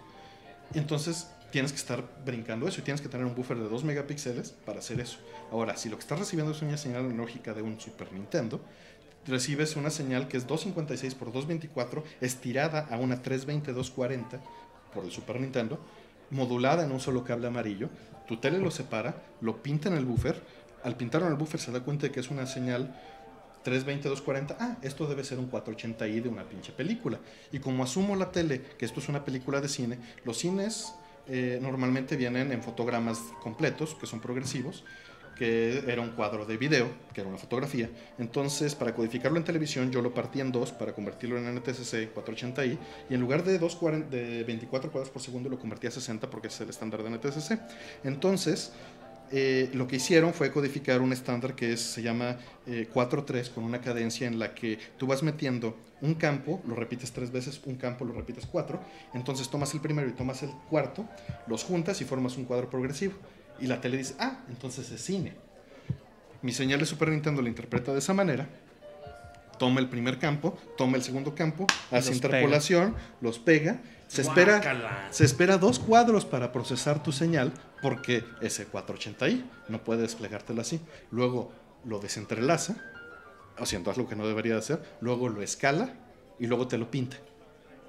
Yo creo, Artemio, que, que lo que podría hacer la gente para después de, de escuchar esto es eh, quizás quienes estén interesados pueden hacer eh, de tarea. Eh, lo más cercano que pueden tener, eh, yo, yo me imagino que hay dos opciones aquí tenemos. Una es que tengan un Wii con cables de compuesto. El cable de compuesto es el eh, amarillo, rojo y blanco. Y otra es que tengan un Super Nintendo también con, com- con compuesto, que sería el Claro. cable a- amarillo, eh, rojo y blanco. Rojo Y blanco son audio, ¿no? Para... Sí, rojo y blanco son Imagínate, R. le damos más ancho de banda en- de un solo cable al canal izquierdo que a todo el video que lleva cinco señales. Sí, no, no, no. Ahora, ahí les Está va. cabrón. Bueno, nada más para un un punto que quería, que quería anotar aquí. Eh, creo que es, eh, vamos, para tratar de simplificar un poco todo este tema, eh, yo creo que eh, si nosotros estamos pensando, por ejemplo, en, qué es lo mejor que pudiéramos tener para tener mejor experiencia en los videojuegos, tanto en consolas o juegos anteriores o, o- o juegos eh, modernos, los juegos eh, más actuales, yo creo que eh, un muy buen ejercicio es ver lo que está usando el mundo competitivo. O sea, ¿qué es lo que estaban usando en Evo apenas la semana antepasada? ¿Qué estaban usando en Evo para eh, la parte competitiva en términos de Street Fighter 4, las consolas nuevas, ¿no? Eh, Xbox 360, Play 3, eh, Play 4? Y lo que estaban haciendo, por ejemplo, también hubo un revival de, Street Fighter eh, 2 Turbo, por lo cual tuvieron que traerse hardware viejo para poder hacer los, eh, los torneos en eso, ¿no? E- ellos, ellos sí definitivamente no, no pueden darse el lujo de poner lag, porque evidentemente eso ya ocasionaría un problema de... em, pues de desventaja para los, para los competidores. Entonces, ¿qué están usando en, eh, en la parte digital? O sea, en consolas nuevas para Street Fighter 4, están usando LCDs competitivos, que son los más rápidos que existen en el mercado. Que No son los de- televisiones, ojo. Ajá, que son de 19 milisegundos, la más baja. Es un, es un modelo que pueden ver por ahí. Hay un, hay un sitio que se llama Displaylag. este, displaylag.com, donde pueden ver eh, una tabla que está siendo actualizada por la banda, por la comunidad, de cuánto, eh, cuánto eh, tardan las, eh, las LCDs y TVs en presentarte los cuadros, ¿no? haciendo todo el procesamiento que acaba de mencionar Artemio. ¿no? Y hay TVs que tienen 19 milisegundos. Ahí las pueden consultar. Nada más pongan el filtro de TV, porque si no ponen el filtro de TV le van a, les van a aparecer monitores de PC. monitores de PC que, que también se valen para los juegos Claro. de Eh, PC, pero ese obviamente, ya ¿no? es Pero no son TVs. Ese ya es no otro tema que Eh, deberíamos y explicar además- con detenimiento. Y además te vas a 22 pulgadas, no a 50. Exacto. Entonces, el eh, 19 es lo más bajo que se puede tener en un LCD hoy día. Entonces, Hay teles de 19. eh, Street Fighter 4 va a estar ajustado para eso, para ese mínimo. ¿No? O sea, Igual y eh, está ajustado para cuatro cuadros, veto a saber. ¿no? eh, vamos, sí, pero Sí. eh, sabemos que no es así porque... Porque eh, puedes jugar en un monitor VGA CRT Exacto, desde la consola, ¿no? exactamente. ¿Tú crees que haya competidores que se sacan de onda, güey, cuando Por llegan supuesto. ahí? Eh, Y no. que se dan cuenta de que está, de que ellos todo practicaron en monitores No llegan lag. ahí. No llegan ahí si lag. tenían lag, la verdad, ¿eh? O sea, si, si tú tienes lag en tu casa y quieres competir en Evo, simplemente no llegas, punto. La verdad. Y lo mismo sucede para la parte de, de los juegos viejos. ¿Qué es, lo, qué es lo que pusieron? Pusieron un CPC2 con CRTs eh, para, la, para la competencia de Street Fighter 2 Tour. O sea, pusieron una placa de arcade y le pusieron CRT. Con cada quien su palanca, ¿no? Eh, cada quien su palanca. Por supuesto, las palancas todas alámbricas. Jamás en ningún momento Ahí- se usan palancas. Ahí Ahí- conectan un inalámbrico al CPS2, ahí sí. Va a ser más trabajo que. No, no, bueno, yo me refería a todo el torneo ahí, en general, ¿no? ahí abarcaron dos puntos muy importantes Artemio y Rollman. Rollman, por un lado, estaba hablando del lag y la manera en que puede afectar eh, el tener este, algo mal hecho, la manera en que jugamos. Y Artemio hablaba más bien como de la calidad del video. Que ¿no? también toqué el lag, ¿no? Ujú, Sí. Claro, Dentro o sea, de- ¿cuál es tu experiencia para, para jugar? ¿Lo quieres ver en una resolución muy buena? ¿Quieres que sea muy fiel? Y además quieres que sea rápido? Pues sí, o sea, Es, es, es por eso que yo hablaba es un de, tema de, búsqueda fuerte. La solución más fácil y barata es un CRT, sin duda. Pero yo, yo creo que más allá eh, de, o sea, ahorita es- está obviamente toda esta información es, es, es algo que me imagino que va a ser nuevo para, para quienes no están escuchando, pero yo aún así, Los tres que quedan. a, a los, tres que, los tres que nos están escuchando, neta les recomiendo que hagan el, el siguiente experimento. Ah, ok, no mames. Re- recordemos el Wii con cables de compuesto, un Super Nintendo con cables de compuesto, como ustedes quieran, cualquiera de los dos. Es importante que ustedes tengan un CRT, así sea de, de su tía, de, de su mamá, de quién sabe quién, y que también tengan pues a la mano un LCD, una tele HD, ¿no? Ahora, Ahorita lo que vas, puedes mejorar esa prueba incluso. Compren una Y, una mugrosa Y en el esteren o en el changarrito de la esquina, que sea una Y de RCA, así como la que usan para separar el audífono en dos. Es una para separar el cable amarillo en dos, que es una Y eh, mono que les va a separar, en- les va a dar dos salidas. Y con eso pueden conectar al CRT al mismo tiempo Ah, claro. que el LCD y comparar qué tan retrasada va la Sí, señal. eso pueden hacerlo si varía. quieren upgradear la, es la- perceptible. la- No, es muy perceptible. Es si quieren perceptible upgradear el resultado, pueden hacerlo para. Eso Porque es es, para algo probar. muy visible. O sea, yo, yo yo lo que estaba es- hablando de, de cosas que quizás ahorita mismo tienen en su casa. Una Y tal vez también la tengo. Ajá, y quizás tienen una Y en su casa y lo que tienen que hacer es simplemente conecten su Super Nintendo y véanlo en un CRT conectado por compuesto, como se debe de ver. Y, y que es la peor calidad, bueno, la segunda peor calidad que podrían tener de lo que puede dar un Super Nintendo. Sí, ¿no? pero compárenla como se ve en su pinche ya sé, LCD, ya sé. eh, en su HDTV, compárenlo. Si es suficiente para ustedes, no le muevan. Quédense contentos con eso y todo está bien. O sea, no se vale perfectamente estar contento con cualquier nivel de Claro. las cosas, ¿no? Claro, ahora sí es muy cierto también que ciertos juegos, sobre todo en juegos viejos, van a sufrir de lag. Entonces, Mega Man, Se por ejemplo, se vuelve injugable. Un, un torneo que te avientes o una madriza que te quieras aventar con tus cuates de un Tetris Attack, empiezas a sufrir Es, muy mu- cabrón. es- es probable que quizás tengan un, un Super Mario World, ¿no? Pueden probarlo con Super Ah, Mario Super World. Mario World igual y no es problema. probar con lo que- pero sería un, un- Pero sería excelente que lo hicieran. Si ustedes tienen el Wii, si el caso es el Wii, Ujú. pues tienen que hacerlo en, en Virtual Console tal cual como platicaba Artemio. Ujú. Tienen que poner su Wii en 480, 4.3, ujú. tienen que poner 480i Ajá. y tienen que simplemente arrancar el juego de, de Virtual Console de Super Nintendo, ¿no? O de Genesis puede ser. Ahora, sí, lo que nos preguntaban también es cómo me documento más. Busca en Google, literalmente busca RGB y en la consola que quieran. O How to Process este, All Video Game Consoles in New TVs. Y les va a aparecer muchísima información.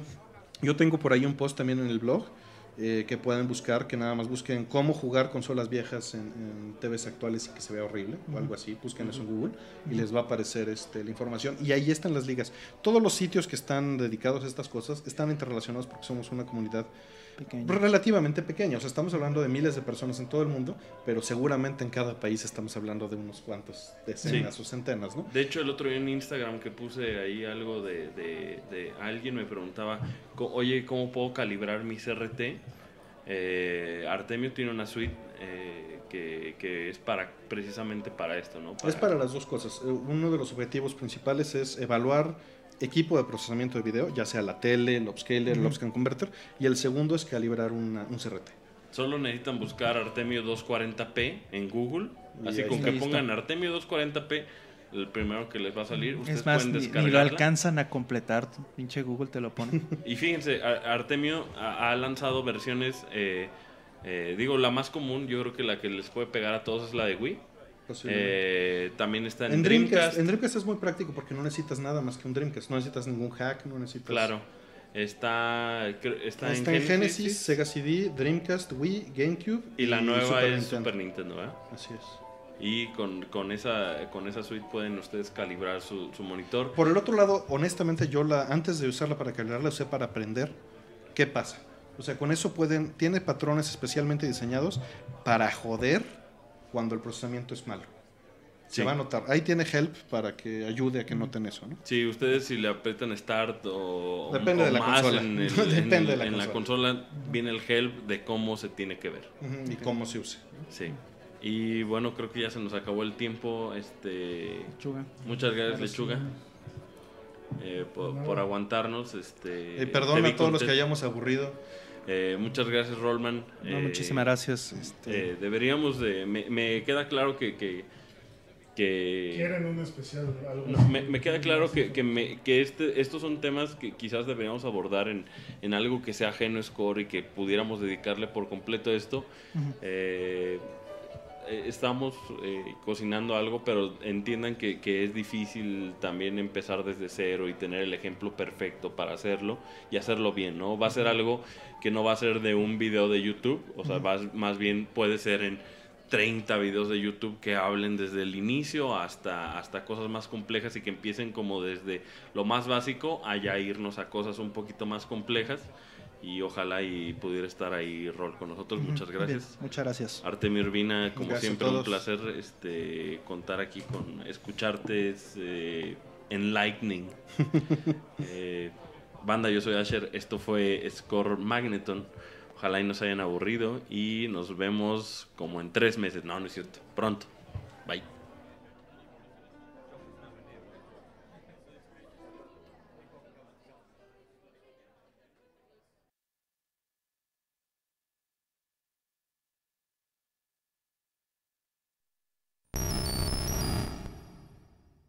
コイル磁石ポケモン。高さ1.0メートル。